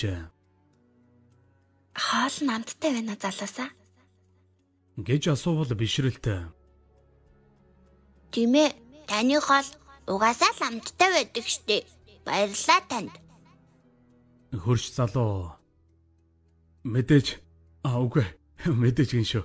Их сайхан амттай байна гэх гээд л гэж хэлснээр мөн л ичингүүр нь доош харлаа. Тэд инхүү халуун дотноор яг л нэгэн гэр бүл шиг хооллож дуусаад бишрэлт төрүүлээд амархаар өрөөндөө оров. Түүний хойно хөршийн залуу цэнгэг хоёр ширээний хоёр талд хэсэгхэн хугацаанд аниргүй сууцгаалаа. Би би чамайг маргааш дайлж болох болов уу? Өнөөдөр чи намайг дайлсан шүү дээ. Тэгээд хариу барих ёстой бах. Ёстой ч гэжтэй. Би өөрөө хүсэж байна л да. Чи надтай хоолнд орох уу? Хэмээн ээрч муран асуув. Цэнгэг түүний байдлыг харж инээд алдснаа. За яах вэ? Дөрөв надад болсон юм чинь. Чиний саналыг хүлээж авалгүй яах вэ? Би зөвшөөрч байна. гэж хэлээд мөн л хөөрхөн инээгт нь хөршийн залуу баярлсан боловч сандарсан өнгөөр би маргааш чамайг авч явахаар ирнэ гэж хэлээд тэндээс гарч явлаа. Цэнгикийг хэдэн сарын өмнө энд асрагчаар ирсэн өдрөөс л тэр түүнд анхны харцаар л дурлсан боловч ийхүү сэтгэлэн илэрхийлэх боломж өнөөдөр л гарч байгаа нь энэ юм. Тэгээд хоолнд өрсөн саналыг нь хүлээж авсанд тэр хязгааргүй их баярлан хөөрч гэрийнхээ зүг яг л хүүхэд мэт үсчин явж одлоо. Цэнгэг аяг тавгаан угааж цэвэрлээд бишрэлтийн өрөөнд орлоо. Миний дүү унтж гинөө? Гэвэл бишрэлтэй. Үгүй ихтэй. гэж хариулаад түүний зүг эргэж харан хэвтлээ. Их чинь өдөр аав ээж чинь ярьсан зүйлийг бодоод л би чамаас нэг юм асуух гэсэн. Юу л та? Тэр улаан бүтээлэг нэрийг хүсэл биелүүлдэг юм гэж юу? Тийм ээ. Гэхдээ заавал миний нулимсыг авчиж биелүүлдэг. Бөх ямар амар юм бэ? Гэхдээ бас том хүмүүсийн шунлыг хөдлөгдөг болтой юм билэ. Би таныг тэр давууг хараасаа гэж хүсэхгүй байна. Хэрв та тэрнийг харж хул бас л толгой чинь эргээд сонирн болчих нь үд. гэж хэлээд бишрэлт гунигтайгаар санаа алдав. Цэнгэг түүний бяцхан гарнаас нь натгаад Их чин тэр айхтар имрууч нь харахгүй амлаж байна. Ер нь тэр чиний нулимсаар хоолддог юм бол яавч олигтой зүйл биш ээ. Хоёулаа тэрнийг олж заавал шатаах болно. гэж хэлээд илдгээр инээмсэглэлээ. Тэгтэл бишрэлтээ итгэл гуйсан нүдээр ширтээд Ихтэй танд ямар нэг арга байгаа мó? Гэж асуутал цэнгэг надад нэг багын найз байдгийн. Тэрнийг сүхгүй гэдэг. Одоо бол мундаг мөрдөгч болсон. Сайн залуу үе. Их чин тэр найздаа хэлж чамд заавал туслах болно. Тэр надад бол итгэн. гэж хэлв. Бишрэлт сайн мөрдөгч гэх үгийг сонсоод баярлан хөөрч. Хөөх, та цагдаа найзтай гэж үү? Би том болоод бас сайн цагдаа болохыг хүсдэг. Мундаг том цагдаа болцоход ээжигээ хинт ч дээрлэхгүйхгүй дандаа хамгаалж яана гэж боддог. гэж хэлснээр мөн л харцсан доошлон Таанч ээж минь надад тэнхтээд байгаа юм. Их мөнгнөөс олоод бүр толгой нэрвчихсэн. За яах вэ? Би удахгүй шидэт яванаас ээжигээ хуучин хэвэнд нь аруулахгүйг нь. Тэгээд ээжийг ирүүл осон үед нь дахиж хитээс дуурахгүй дээ. Хэмээн бяцхан зүрхэндээ гомдолтын нусаа шуртхийн татлаа. Цэнгэг хүүг ирэхгүй өрөвдөн байснаа. За, одоо миний дуунд та. Чамайг дахиж доор унтуулахгүй болохоор эндээ сайхан амар. Хоёулаа маргааш их ажил амжуулнаа. Гэж хэлээд өрөөнөөс нь гарлаа. Өглөө болов. Цэнгэг дөнгөж үүр хаяарах үед хүүг дуудаж эртлэн сэрийгээд байшингийн арын хаалгаар дагуулan гарсаар нэгэн хар машины арын суудалд суулгалаа. Тэгтэл тэнд нэгэн залуухан дөрөм туцтай цагдаа. За хамрыг ирээ минь дөө. Хэмээ мэнтлэв. Хүү гайхан саяхан урд суусан цэнгэг рүү харвалаа. Зүгээр дээ миний дөө. Их чих нь өчигдөр яриад байсан цагдаанаад сүх хуйг. Хэмээн танилцуулав. Хүүгийн харц саял нэг зөөлрөн сүх хуйг руу харлаа. За сайн байна уу миний дөө. Ахасаа эмэх хэрэггүй дээ. Би харин ч чамайг хамгаалах гэж ирлээ. Зарим нэг зүйлсийг цэнгэг өвчөөсөн сонссон л доо. Чамайг энд олон сараар хорьсон бас зодддаг гэж байна лээ. Энэ үнэн үү? Гэж асуухад бишрэлт доош харан чимээгүй л толгой дохилоо. Мөрдөгч үргэлжлүүлэн аав ээж хоёр чинь энд ирээд мөнгөтэй болоод буцдаг гэсэн энэ бас үнэн үү? гэж асуутал бишрэлт мөн л толгой дохилоо. Яаж хаанаас мөнгөтэй болдог гэдгийг чи мэдэх үү? Энд юу н өөр хүмүүс ирж байсан уу? Байшин чинь доороон агуулах эсвэл зойртой юу? Гихмэд асуултыг дараалуулан тавив. Тэгтэл цэнгийг урд суудланаасаа эргэж харан Хүүс сүхий наадах чинь жоох хөөхд арай дэс дараатай зүйл асуу. Хүүхд тайлахчав. Гэв. Тэгтэл сүх хуйг Ан за за. Уучлаарай минь дөө. Энэ ажлын онцлог гэхүүдээ. Би ер нь яг энэ хэрэг дээр ажиллаж байгаад гавьтай үр дүнд хүрч чадалгүй байсаар хэд хоногийн өмнө энэ хэрэгэн өгсөн юм л да. Гэтэл одоо ингээд сэжүүр гарч ирэх гэж. Яг хамгийн гол нь эдний аав ээжийн их хэмжээгээр захиран зарцуулаад байгаа мөнгөний их усүрийг нь ерөөсөө олж чадахгүй байгаа юм. Чи бодоод үзтээ эрхэлсэн бизнес байхгүй, өвлсөн хөрөнгө байхгүй, олигтой ажил албан тушаалчгүй байж хаанаасаа ингэж хөрөнгөчөөд байгааг л ойлгохгүй байгаа юм. Өмнөх түүхийг нь судлахад гентэл баяжсан нөхдүүд байгаа юм. Харин нэг сэтгэц мэдрэлийн өвчтөе хүүхэдтэй гээд байсан энэ хүү байж л дээ. Ингээв. Тэгтэл цэнгэг бишрэлтэд хандан За миний дүү энэ ахта бүгдийг яриад өгч. Чамд туслаж чадах ганц хүн шүү дээ. Ингээл. Бишрэлт гар хуруугаан оролдон хэсэг сууж байснаа. Шидэт Иван л бүх хүслийг минь биелүүлдэг. Тэр хоёр мөнгөнд дуусахаараа надаас гуйхаар иртгэдэг. Харин би тэр үед нь заавал ойлгох ёстой болдог. Тэгээд тэгтэд намайг зодддаг. Шидэт Иван миний нулимсыг аваад оронд нь гуйсан зүйлийг минь гаргаж өгдөг. гэж хэлв. Сүх хуйг толгоогоо гэлжилгэн За байцаараа шидэт Иван гэдэг нь юу юм? Хүн юм уу? Эд хогшил юм уу? гэж асуув. Зүгээр л ширээний бүтээлэг. Гэхдээ одоо улаан өнгөтэй болчихсон. гэж бишрэлт хариулав. Сүх хуйг хэсэг бодлогоширч байснаа. Үгүй сүхий. Наадах чи үний ярьж байгаа хаа. Өчигдөр аав ээж хоёр нь ирээд хүүгээ зодож нүдээд нэг улаан өнгийн давуу гаргаж бишрэлт рүү шидэд хурдан хідэн ногоон гаргаадах гэж хэлж байсныг нь би сайн сонссон. Тэр давууга гэртээ нуудаг. Тэгээд Хэрэг болохоор энд авчирдаг юм билээ. Энэ хүүхдийн ярьж байгаа үнэн шүү. Чи арай надад хүртэл итгэхгүй байгаа юм шүү дээ. Гэв. За найз минь би одоо ийм үлгэрт итгээд хэрэг мөрдөөд яваад байвал саяных шиг албан тушаал буурах биш бүр цагдаагаас хөөгдөж шар хад руу явах байлгүй дээ.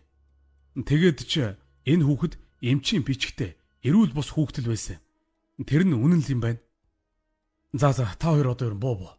Би лав ийм юм сонсох гэж ирээгүй шүү. Хэмээн уурсав. Тэгтэл бишрэлтэй. Цагтааха миний яасан үнэн шүү дээ. Ээж өрөөнд нэг сейф байдгийн. Тэрийг онгойлгож харвал миний шидэт Иван тэнд байгаа. Та тэрнийг минь надад авчирч өгвөл би танд баталж чаднаа. Та надад туслаач дээ. Хэмээн гарнаас нь атхан гуйж байв. Гэвч сүх хуйг хүүгийн яриаг тоосонгүй тул тэд арга буюу машинаас бууцгаажээ.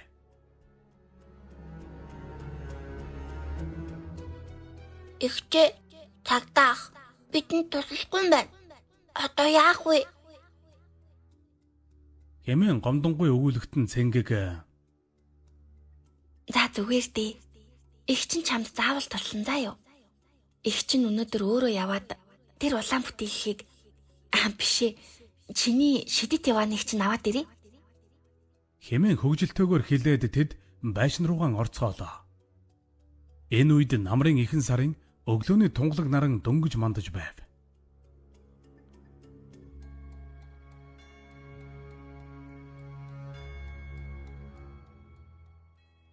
Аа, ингэж ганц хүүхэд аргалж чадахгүй сууж байх ч гэжтэй. Чи одоо урдын шигэн тэр хүүхдэд зөөлөн хандаад ганц хүсэлт хэлүүлж чадахгүй байна уу? Учиргүй л хайртай өрмөн гэдэл хирч халдаахгүй өмөрдөг байсан. Чи ч ёстой л жинхэнэ шолом гээч нь болж таа. Хэмээн баяртай сувданд үг хаяв. Тэгтэл сувдан түүн рүү хялам хийснээр Тэрч болно л доо. Ганц нэг жүжигэд юухан байх вэ? Гэхдээ л миний дотроос тэр хүүг харахаар үзий ядах сэтгэл ундраад байдгийн. Урд нь яагаад ч тэгж хайрлж харамлж байсан бүү мэд. Гэхдээ чи өөрийгөө хилээч. Нүүрэндээ миний хань миний хүү гэдэг байсан ч бит хоёроос хамаг өнгөтэй өдтэй эмиг хуу хамаад л хар уснасаа өчгдөг байсан биз дээ. Гэхдээ одоо ч өөрөлтөө ингээд бодоод байхад тэр дурсамжнууд миний сэтгэлийг өвтгөхөө болчихож. Тэр үед яагаад ч чамааг тэгтлээ үзэн яддаг байсан. За яах вэ? Маргааш тэгвэл хайртай үрийнхээ хүсэмжит ээж нь болоод л очихоос тоо. Чи ч бас наад шунлаа дарахыг хичээж л үзээрэй. гэж хэлээд үл мэдэг мушиг хайдажээ.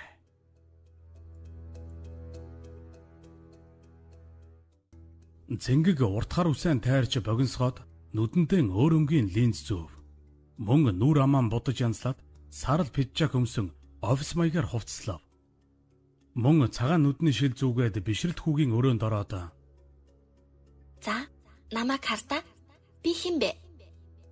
Гэвэл цаадах нь уулга алдаж Хүй таа чинь ямар өөр алчсан юм бэ? Таныг ээж лав танихгүй аха. гэвэл цэнгэг Гол нь тэр шүү дээ дөөмин. Нэрээ их чинь урд нь нүүр хувиргалтын жинхэнэ мастер явлаа штэ. Даанч нэг үйлчлүүлэгчийн маань нүүр нь бодогнаас харшлаад ёстой сүйд болсон. Тэгээд л тэр мэрэгчлэрээ дахиж ажиллахаа болсон гэхүү дээ. Гэхдээ л сурсан имийг яалтай вүлээ. Үнэхээр өөр болсон байгаа эдтэй. Их чин чамд заавал шидэт явааныг чинь навчирч өгнө. Ямар тач тэд маргаашнаас нааш ирэхгүй тодорхой. Тэгэхээр өнөөдөр л амжуулах хэрэгтэй гэж хэлээд эгдүүтэй хөөрхөн инээх нь эгээл бишрэлтийн үеийн охиноос ялгаагүй мэт санагдана.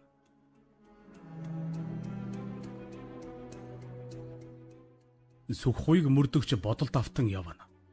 Тэр хүүгийн ярианд баахан эргэлзэх болжээ. Тэр бодохдоо галзуу хүүгийн яриад байгаа сэф бид өмнө нь сувдангийн байшинд нэгжлэг хийхэд тэр сэфнээс хуйлаастай хуучин улаан давууноос өөр зүйл илрээгүй дээ. Гэтэл хүү тэр давууны тухай яриад байдаг. Бас яагаад хуучин муу даавууг тэгж сейфэнд нандинг хадгалдаг вүлээ? Арай хүүгийн яриад байгаа зүйл нь үнэн юм биш үсттэй. Бас цэнгэг надад худлаа хэлмээргүй юм. За за би юу нь юу л болоод байна да. Тэр үлгэр домог дээр л ид шид гэдэг нь байдаг бах. Гэснэн бодлон цэгслэг гэсэн мэт толгоогоо сэгсрэв. Энэ үед цэнгэг хотын төвд Сувдангийн байшингийн гадаа ирлээ. Тэр мэдээж энэ газрын хаяг болоод Севний байрлал зэргийг бишрэлт хүүгээс асууж мэдсэн байлаа. Тэр хаалганы хонхыг даран хүлээж байтал Сувдан хаалга тайлж өглөө. Сайн байна уу та? Би танай хорооноос өрхийн судалгаа хийж аваа хүн байна. Та миний ажилд туслаад гэртээ оруулахгүй юу? Хэмээн цэнгэг хоолоогоо өөрчлөн өгүүлв. Зовдон түн рүү ёоз мутайхан харж байснаа. За, тэгээд хурдан ороод гараарай. гэж хэлээд цааш иргэн алхчихав. Тэр ямартай ч өөрчлөгдсөн цэнгэгийг таньсангүй. Үүнд нь урамшилсан цэнгэг тэрхүү том байшинд инээмсэглэн ороод доторх орчинд нь нүд тусхан алмаарчээ. Бөөх ийм тансаг сайхан байшинд амьдардаг юм уу? За харахчгүй үсттэй. Гэхдээ л ийм амьдралтай байж яасан ханаж татхаа мэдтгүй муухай хүмүүс вэ? гэж бодсоор цааш явлаа. Тэр гэрийн тавилга сэлтийг тэмдэглэн Үнийг нь асууж байтал сувдан Чи чинь ямар ядаргаатай хүүхэн бэ? Наад бол чинь бүгдээр үнтэй тавилганууд. Ийм юм бүртгэж юу нь яадгийг? гэж уурсахт нь цэнгэг Амжиргааны судалгаа юм а ихчээ. Цаанаас нь судалгаагаар айлуудыг сонгоод танах нэгэнд нь таарсан хэрэг. Тэгээд л явж байгаа юм. Ажил шүү дээ ихч минь. гэж хэлэхэд сувдан За за. Тэгвэл чи өөрөө наадах дээрээ үнэ болоод бичээд явбал яв мэдвүү. Надад зав алга. гэж хэлээд гал тогооруугаан орчхов. Ашгүй өөрөө дураараа явах боломжтой болсон цэнгэг түүний өрөө рүү явхаар дээш өгслөө. Тэр явсаар өрөөг нь олж хаалгыг нь зөөлөн нээх үед хэн нэгэн түүний мөрнөөс татав. Цочсондоо хашгирах шахам амаан дарж амжаад эргэн харвал баяртаа. Жимбэ. Гэснэ хариу өгч амжилгүй байтал доош орилов. Ой. Энэ юун хүн яваад байгаа юм бэ? Хэмээн хашгиртал сувдан Аа, тооллохын хүн гэсэн. Зүгээр хайчхаа, ядаргаа. Нааша бууж цаагаа уу? гэв. Баярт түүнийг доороос нь дээш нь харж байснаа би чамайг хаана харлаа? Нэг л харсан хүн шиг байх юм. Гэвэл цэнгэг баг зэрэг сандран мэгдэж Би хорооны ажилтан болохоор олон хүнд харсан юм шиг санагддаг байлгүй дээ. гэв. Баярт түүний мөрнөөс нь гараан татаад удаанаар эргэн доош буулаа. Түүнд ямар нэгэн зүйл эргэлзээтэй санагдаж байгаагаас зайлахгүй. Цэнгэг хэсэг амьсгаагаа дарж зогсож байснаа арай дэрдэн өрөөнд явж орлоо. Тэр сефиг ядах юмгүй олов. Мөн кодыг нь мэдэх ёстой байсан тул скотч гарган тоонууд дээр нь наалаа. Тэр иймэрхүү аргыг киноны нүүр хувиргалтанд явж байхдаа зураг авалтнаас олон харсан билээ. Тэнхүү скотчо хуулан авч дээрх хурууны хээнүүдийг нь харж байтал гэнэт өрөөний хаалга торхын дугарч гаднаас сувдан баярт хоёр орж ирэв. За яв. Миний сейфний кодыг олж мэдээд баярлж гин үү? Юунда ингэж гайхавэ? Чи тэр толны өмнө байгаа шар шуун баримлыг харж гин үү? Энэ байшин чинь миний нүдээр дүүрсэн газар гэдгийг тооцоолох байжтэй чи. Чамайг зүгээр ингээд ганцаар ингэ чинь өрөө хэсүүлээд байна гэж бодоогүй. Бас хорооны ажилтан гэж хичээ. Хэмээн сувдан хүйтнэр хилэн цэнгэг рүү ойртов. Тэгтэл цэнгэг ээрч мууран Та та намайг мэдчихээ юу? Би зүгээр л таны хүүд тусламж хэрэгтэй болоод л хэмээн бувтнав. Баярт сувдангийн хажуугаар дайран ирж цэнгэгийн багалзуураас нь атгав. Тэгтэл сувдан гинэт дуугаан өндөрсгөн Өө хөөхи. Чи чин цэнгэг мөн үү? Ямар их өөрчлөгдөв вэ? Энд юу хийж яваа юм? Аа? Үнэн дээр чамайг сая дугар хүртэл тайлсангүй шүү. Бас л нэг мөрдөгч тагнуулын газрын туршуул гэж бодож байлаа. Гэтэл цэнгэг хоолоогоо шахуулсан тул нарийнхан өнгөөр игчээ хэмээн арай гэж дуугарав. Сувдан баяртын гарыг зөөлөн цохиж түүний гарыг тавиуллаа. Цэнгэг хахаж цацсан ханаж доош бүгтийн сөхрөв. Сувдан түүний үснээс нь угц татан дээш өндийлгөөд Ёстой айхтар чөтгөр юм даа чи. Биднийг хизэнээс эхэлж мэдсэн.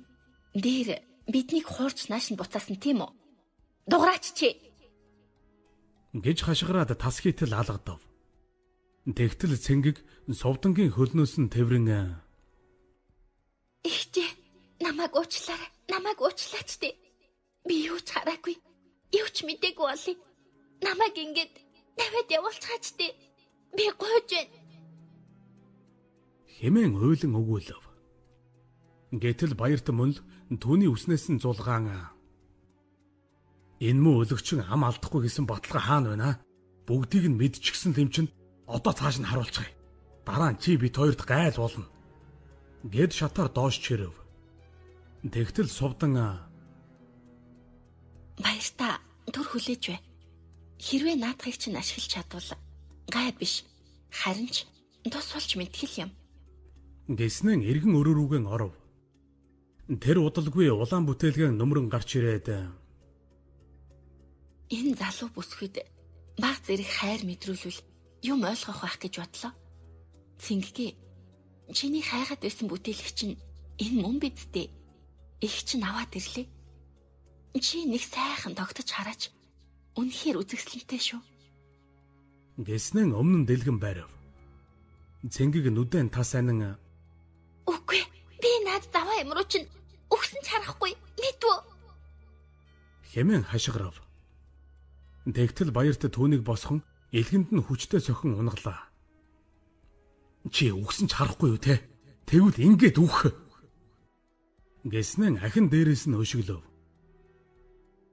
Тэнхүү баахан зодсны эцэст бахардаж тамирчсан цэнгэгийг дээш татан өвдөглүүлэн суулгаад нүдийг нь хүчээр нэн харуулв.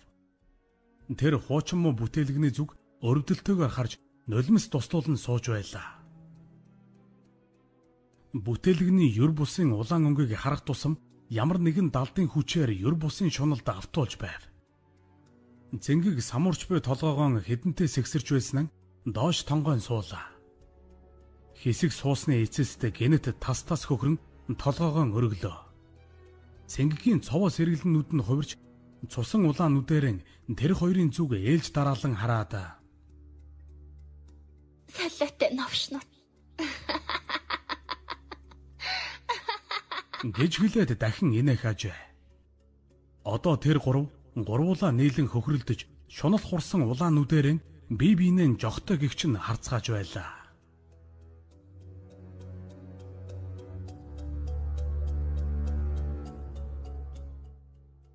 Мөрдөгч Сүхойгийн бодлоос бишрэлт хүүгийн ярьсан зүйл ер мартагдахгүй зовоон. Тэр арга буюу уцаа гарган цэнгэг рүү залгалаа. Байна уу цэнгэгүү? Тийм ээ. Чиний хонгорхон цэнгэгч нь байна. Ирхэн мөрдөгч ямар хэрэгээр над руу залгах болов уу? Аа, найз нь харин чамтай үгүй ер нь нөгөө хүүтэй чинь бас ахиж уулзмаар байна л та. Та хоёр өглөө байсандаа байгаа үстэй. Найз нь одоо яваад очие. Хөөе, байцаарай. Өглөө нохоо шиг хөөж туучхад одоо гинэт найзгаа санаа юу чи? Одоо чамтай уулзах зав даан чалга та. Баяртай. гэж хэлээд утас тасрав. Сүх хуйгт цэнгэгийн энхүү хачин ярианы өнгөн таалагдсангүй. Энэ одоо гинэт юу болчих вэ? Ингиж сонин ярддаг хүн биш л юмсан. гэж бодсноо машин асаан хөдлөв. Бишрэлтэй цэнгийг их чинь нэрлээ. Чи хаана вэ? Их чинь чиний Иванушкаг авчирлаа. Чи гарч ирж харахгүй юм уу? Хэмээн цэнгэг байшинд орж ирэн нялуун өнгөөр дуудав. Тэгтэл бишрэлт доод өрөөний хонглоос гүйн гарч ирээд цэлмэг ихчээ хэмээн тэврэн авлаа. Энэ үед гаднаас баярт сувдан нар ороод ирэв. Бишрэлт том алаг нүдэрэн тэр хоёрын зүг айдастайгаар харж байсан нь цэнгэгт улам наалдан илүү чанга тэвэрлээ. Сувдан хүүдэн ойртож гараа сунгаж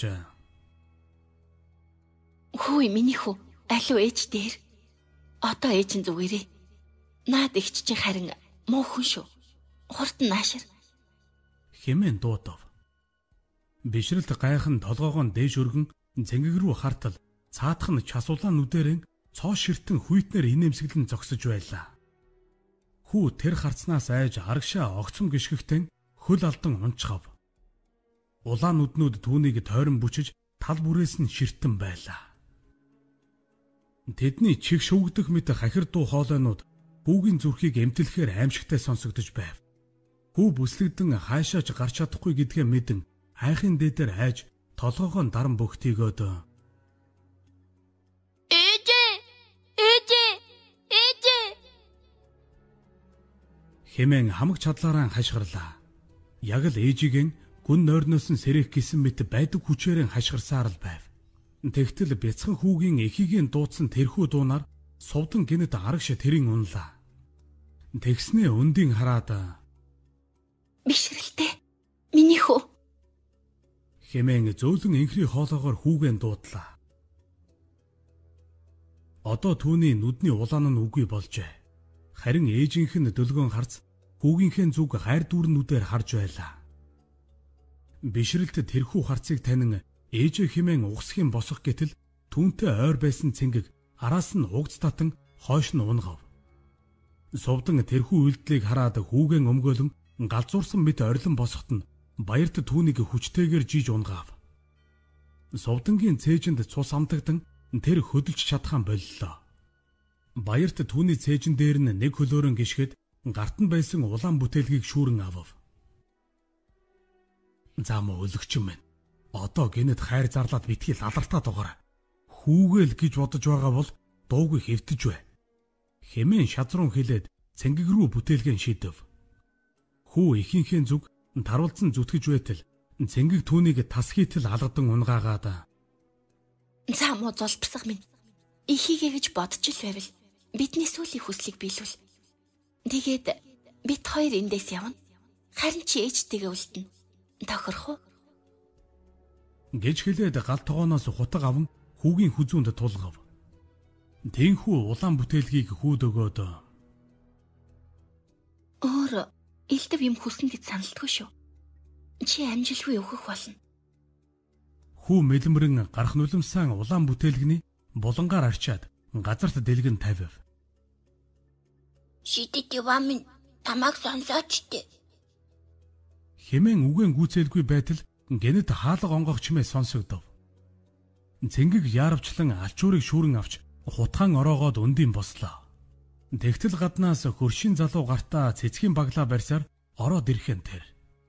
Байшинд болж буй үйл явдлыг хараад нилээд гайхсан эр. Цэнгэгэ энд юу болоод байгаа юм бэ? Чи зүгээр үү? Гэхэд цэнгэг Аа зүгээр штэ. Би тэгэхэд харан тоглолцооч л байла. гэж хэлээд түүнд ойртов. Чи харин юу хийж аваа юм? Аа, нэрээ намайг болтон дүрээд байлоо. Химэн ярьсаар дэрэгдэн ирлээ. Залуу яг юу гэж хэлхээж үл мэдэн алмаар нь зогсож байтал баяртаа. Ой цэнгэгэ битгий дэми цаг үрээд бай. Хурдан наадхан дуусах гэж шаардав. Залуу гайхан цэнгэг өөд хартал цаатах нь хутгаан суглан хормын дотор хэвлийн тус газар нь хутгалж орхилоо. Залуу үгч дуугарч чадалгүй цэнгэгийн мөрнөөс нь түшин доош гулсан унав. Түүний барьсан цэцэг газарт бутран унаж залуугийн цусаар будагдан угаагдлаа. Бишрэлт хүү уйлан байж Үгүй зингэгч битгэжтэй хэмээн хашгирч байв. Харин сувдан хүүгэн өрөвдөн хайрлаж нулимс мэлмрүүлэн байвч баяртын хөл доороос сугарч эс чадна. Зэнгэг хүүд дахин хутга тулган бүтээлгэн өглөө. Бишрэлт бүтээлгийг аван нулимсан арчин хэсэг зуур мэгшин суув. Тэгтэл баярт сувдангийн дээрээс улам хүчтэй дэвсээд Замо золовсго минь хурдлахгүй бол ээжиг чинь алчхан шүү. Хэмээн сүрдүүллээ. Хүү айсандаан улаан бүтээлгийг дэвсээд Шидэт явамын намайг сонсоод баяр дах зэнгэгт хоёрын хүссэн зүйлийг нь гаргаж өгөөч дээ. гэж хэлээд бүтээлгэн сэгсрэв. Тэгтэл хормын дотор бөөм бөөм боодол доолрууд овоолго мэт гарч ирлээ. Баярт цэнгэг хоёр бие биен рүүгэн баярлан инээж шунал дүүрэн улаануудаараа овоолготой зүйл рүү булаалтах мэт харж байлаа. Энэ завшааныг ашиглан бишрэлтэй ээжийнхээ зүг гүйн очоод тэрэн авахд сувданч мөн хүүгэн тэрэн бие биенээ үнсэн инхрийллээ. Гэтэл баяртын шунал нь барагдсангүй Тэр хүүгийн үснээс нь дахин зулгаан татлаа. Сувдан хүүгийнхээ араас чаргууцалдан Баярта. Одоо болно штэ. Эн чинь чиний ч бас өршүү дээ. Түүнийг минь амьд үлдээгээч дээ. Би чамаас гойж байна штэ. Хэмээн уйлан мөргөв. Ахиад ахиад ганцхан удаа яг саяных шиг гуугаад өгч. Тэгээд л болоо. Хэмээн баярт хэлээд хүүг дахин бүтээлэг рүү шидэв. Тэгтэл хүү нүрээрэн шал мөргөн унаж хамарнаас нь улаан цус сад 50 гоожлоо. Энэ үед улаан бүтээлэг хүүгийн цусыг сорон ундаалж тусалж үлдээлгүй шингэн сорж байсныг хинж анзаарсангүй. Хүү дахин нулимсан арчаад улаан бүтээлгэн дэлгэн тавилаа. Тинхүү яг хүслэн хэлэх гэтэл гараа өрг буудлаа шүү гэсээр гаднаас сүх хуйг буу барьсаар орж ирлээ. Тэр ихлээд шалан дээр хутгалуулж унсан залуугийн судасны цохилтыг шалгаад холбоогоо гарган дуудлага өглөө. Бөөно бөөно объект 6 руу яаралтай нэмэлт хүч явуулна. Эмнэлгийн тусламжийг яаралтай явуул. Нэг хүн хүнд шахагдсан байна. Хэмээн мэдэгдэв. Тэр овоолготой их долларыг болоод мөн өмнөө улаан давуу дэлгсэн бишрэлтийг хараад нүдэндээ шитгэсэнгүй. Тэнгэр минь гэж энэ үнэхээр үнэн байжээ. Алив, миний дүү бос. Ээж дээр нь оч. Гэв. Бишрэлт угсхийн босч ээжийнхээ дэргэд очин тэврийн авлаа. Тэгтэл цэнгийг Хүй сүхий миний найз яаж байна? Би чамд хэлсэн байхаа. Чи данж итгэхгүй зү. Нөгөө яриад байсан бүтээлч чинь энэ шүү дээ. Гэвч энэ баярт бид бүгдийг дээрлэхэд хүссэн зүйлээ авч хаад л гэж байна. Ашгүй чи яг цагаа олж ирлээ шүү. Гэж хэлээд залжин инээмсэглэгтэн сүх хуйг. Зогс, элдв хөдөлгөөн хийгээд хэрэггүй шүү. Чамаг яасныг мэдэхгүй чи их өөр болсон байна. Алив, та хоёр гараа шилэнтэн аваад тэр хан руу очиод зогс. Хэмээн тушаав. Тэр хоёр арга буюу үгээр нь гүйцэтгэлээ. Сүх хуйг цааш алхан улаан бүтээлгийг авах гэтэл бишрэлтэй. Аха, та наадах руугаа битгий хараарай. Хэмээн орилов. Гэвч сүх хуйг түүний үгийг тоосонгүй бүтээлгийг авлаа. Тэр эргүүлж тойруулан үзснээ доош унжуулан дэлгэн харав. Бөөх ямар сайхан эдвэ. Хэмээн уулаг алдаснаа хэсэг чимээгүй болов. Тэр инхүү хэсэг зур чимээгүй байснаа улаан бүтээлгний цаанаас гинэт цухын тачгантал инээд алдах болов. Тэр удтал инээж байснаа гинэт бишрэлтийн зүг улаан нүдэрэн хорсолтойгоор харан түн рүү ойртон алхлаа. Энэ үед хан руу харж зогссон баярт цэнгэг хоёрч мөн тас тас инээ далдан ээжхүү хоёрын зүгд өгцгөөлөө. Совдон хүүгэн түлхэн Миний хүү зүгт ээждээ битгий санаа зов. Яг одоо хар ирчээрээ бүр холгүй. Хэмээн хашгирав. Гэтэл буундуу тасхийг сонсогдож сүх хуйг тааз руу буудан бүгдийг анир чимээгүй болголоо.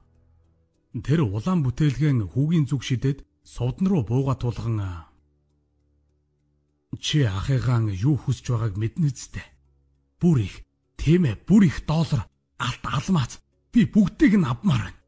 Яг одоо надад бүгдийг нь өгөхгүй бол би ээжийн чин толгойг зад буудна гэж мэдээрэй.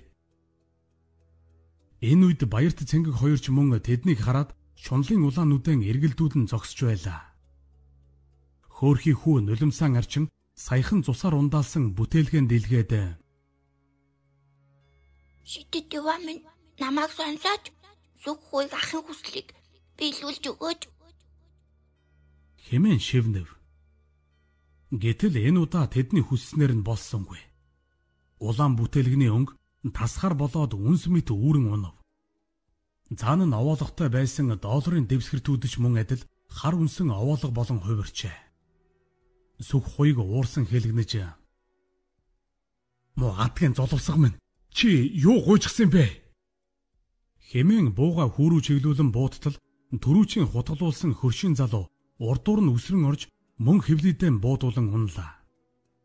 Сүх хуйг уурсан хэлгнэж бишрэлт рүү дахин буугаан чиглүүлэх үед өөр нэг газараас түүний цохонд нь сум тусч сүх хуйг газар дээрээ нам унахан тэр.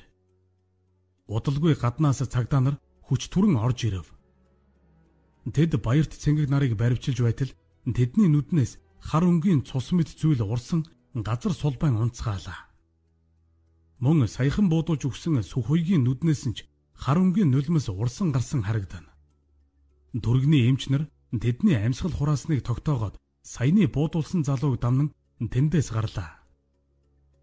Хэвлийдээ хутгалуулж мөн нэмж буудуулсан хөршин залуу газарт унсан цэнгэг бүсгүй цогцыг харан нүдэндээ нулимс туслуулсаар тэндээс дамнуулан гарч яваан тэрэ.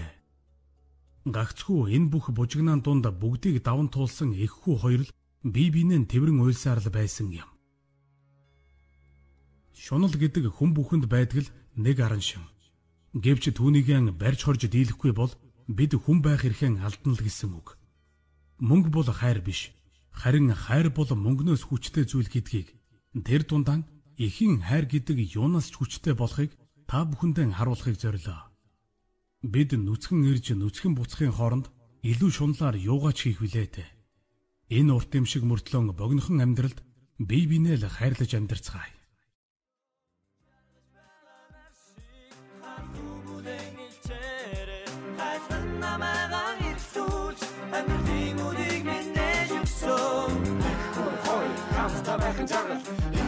Хайр, хайр хүн ихэл.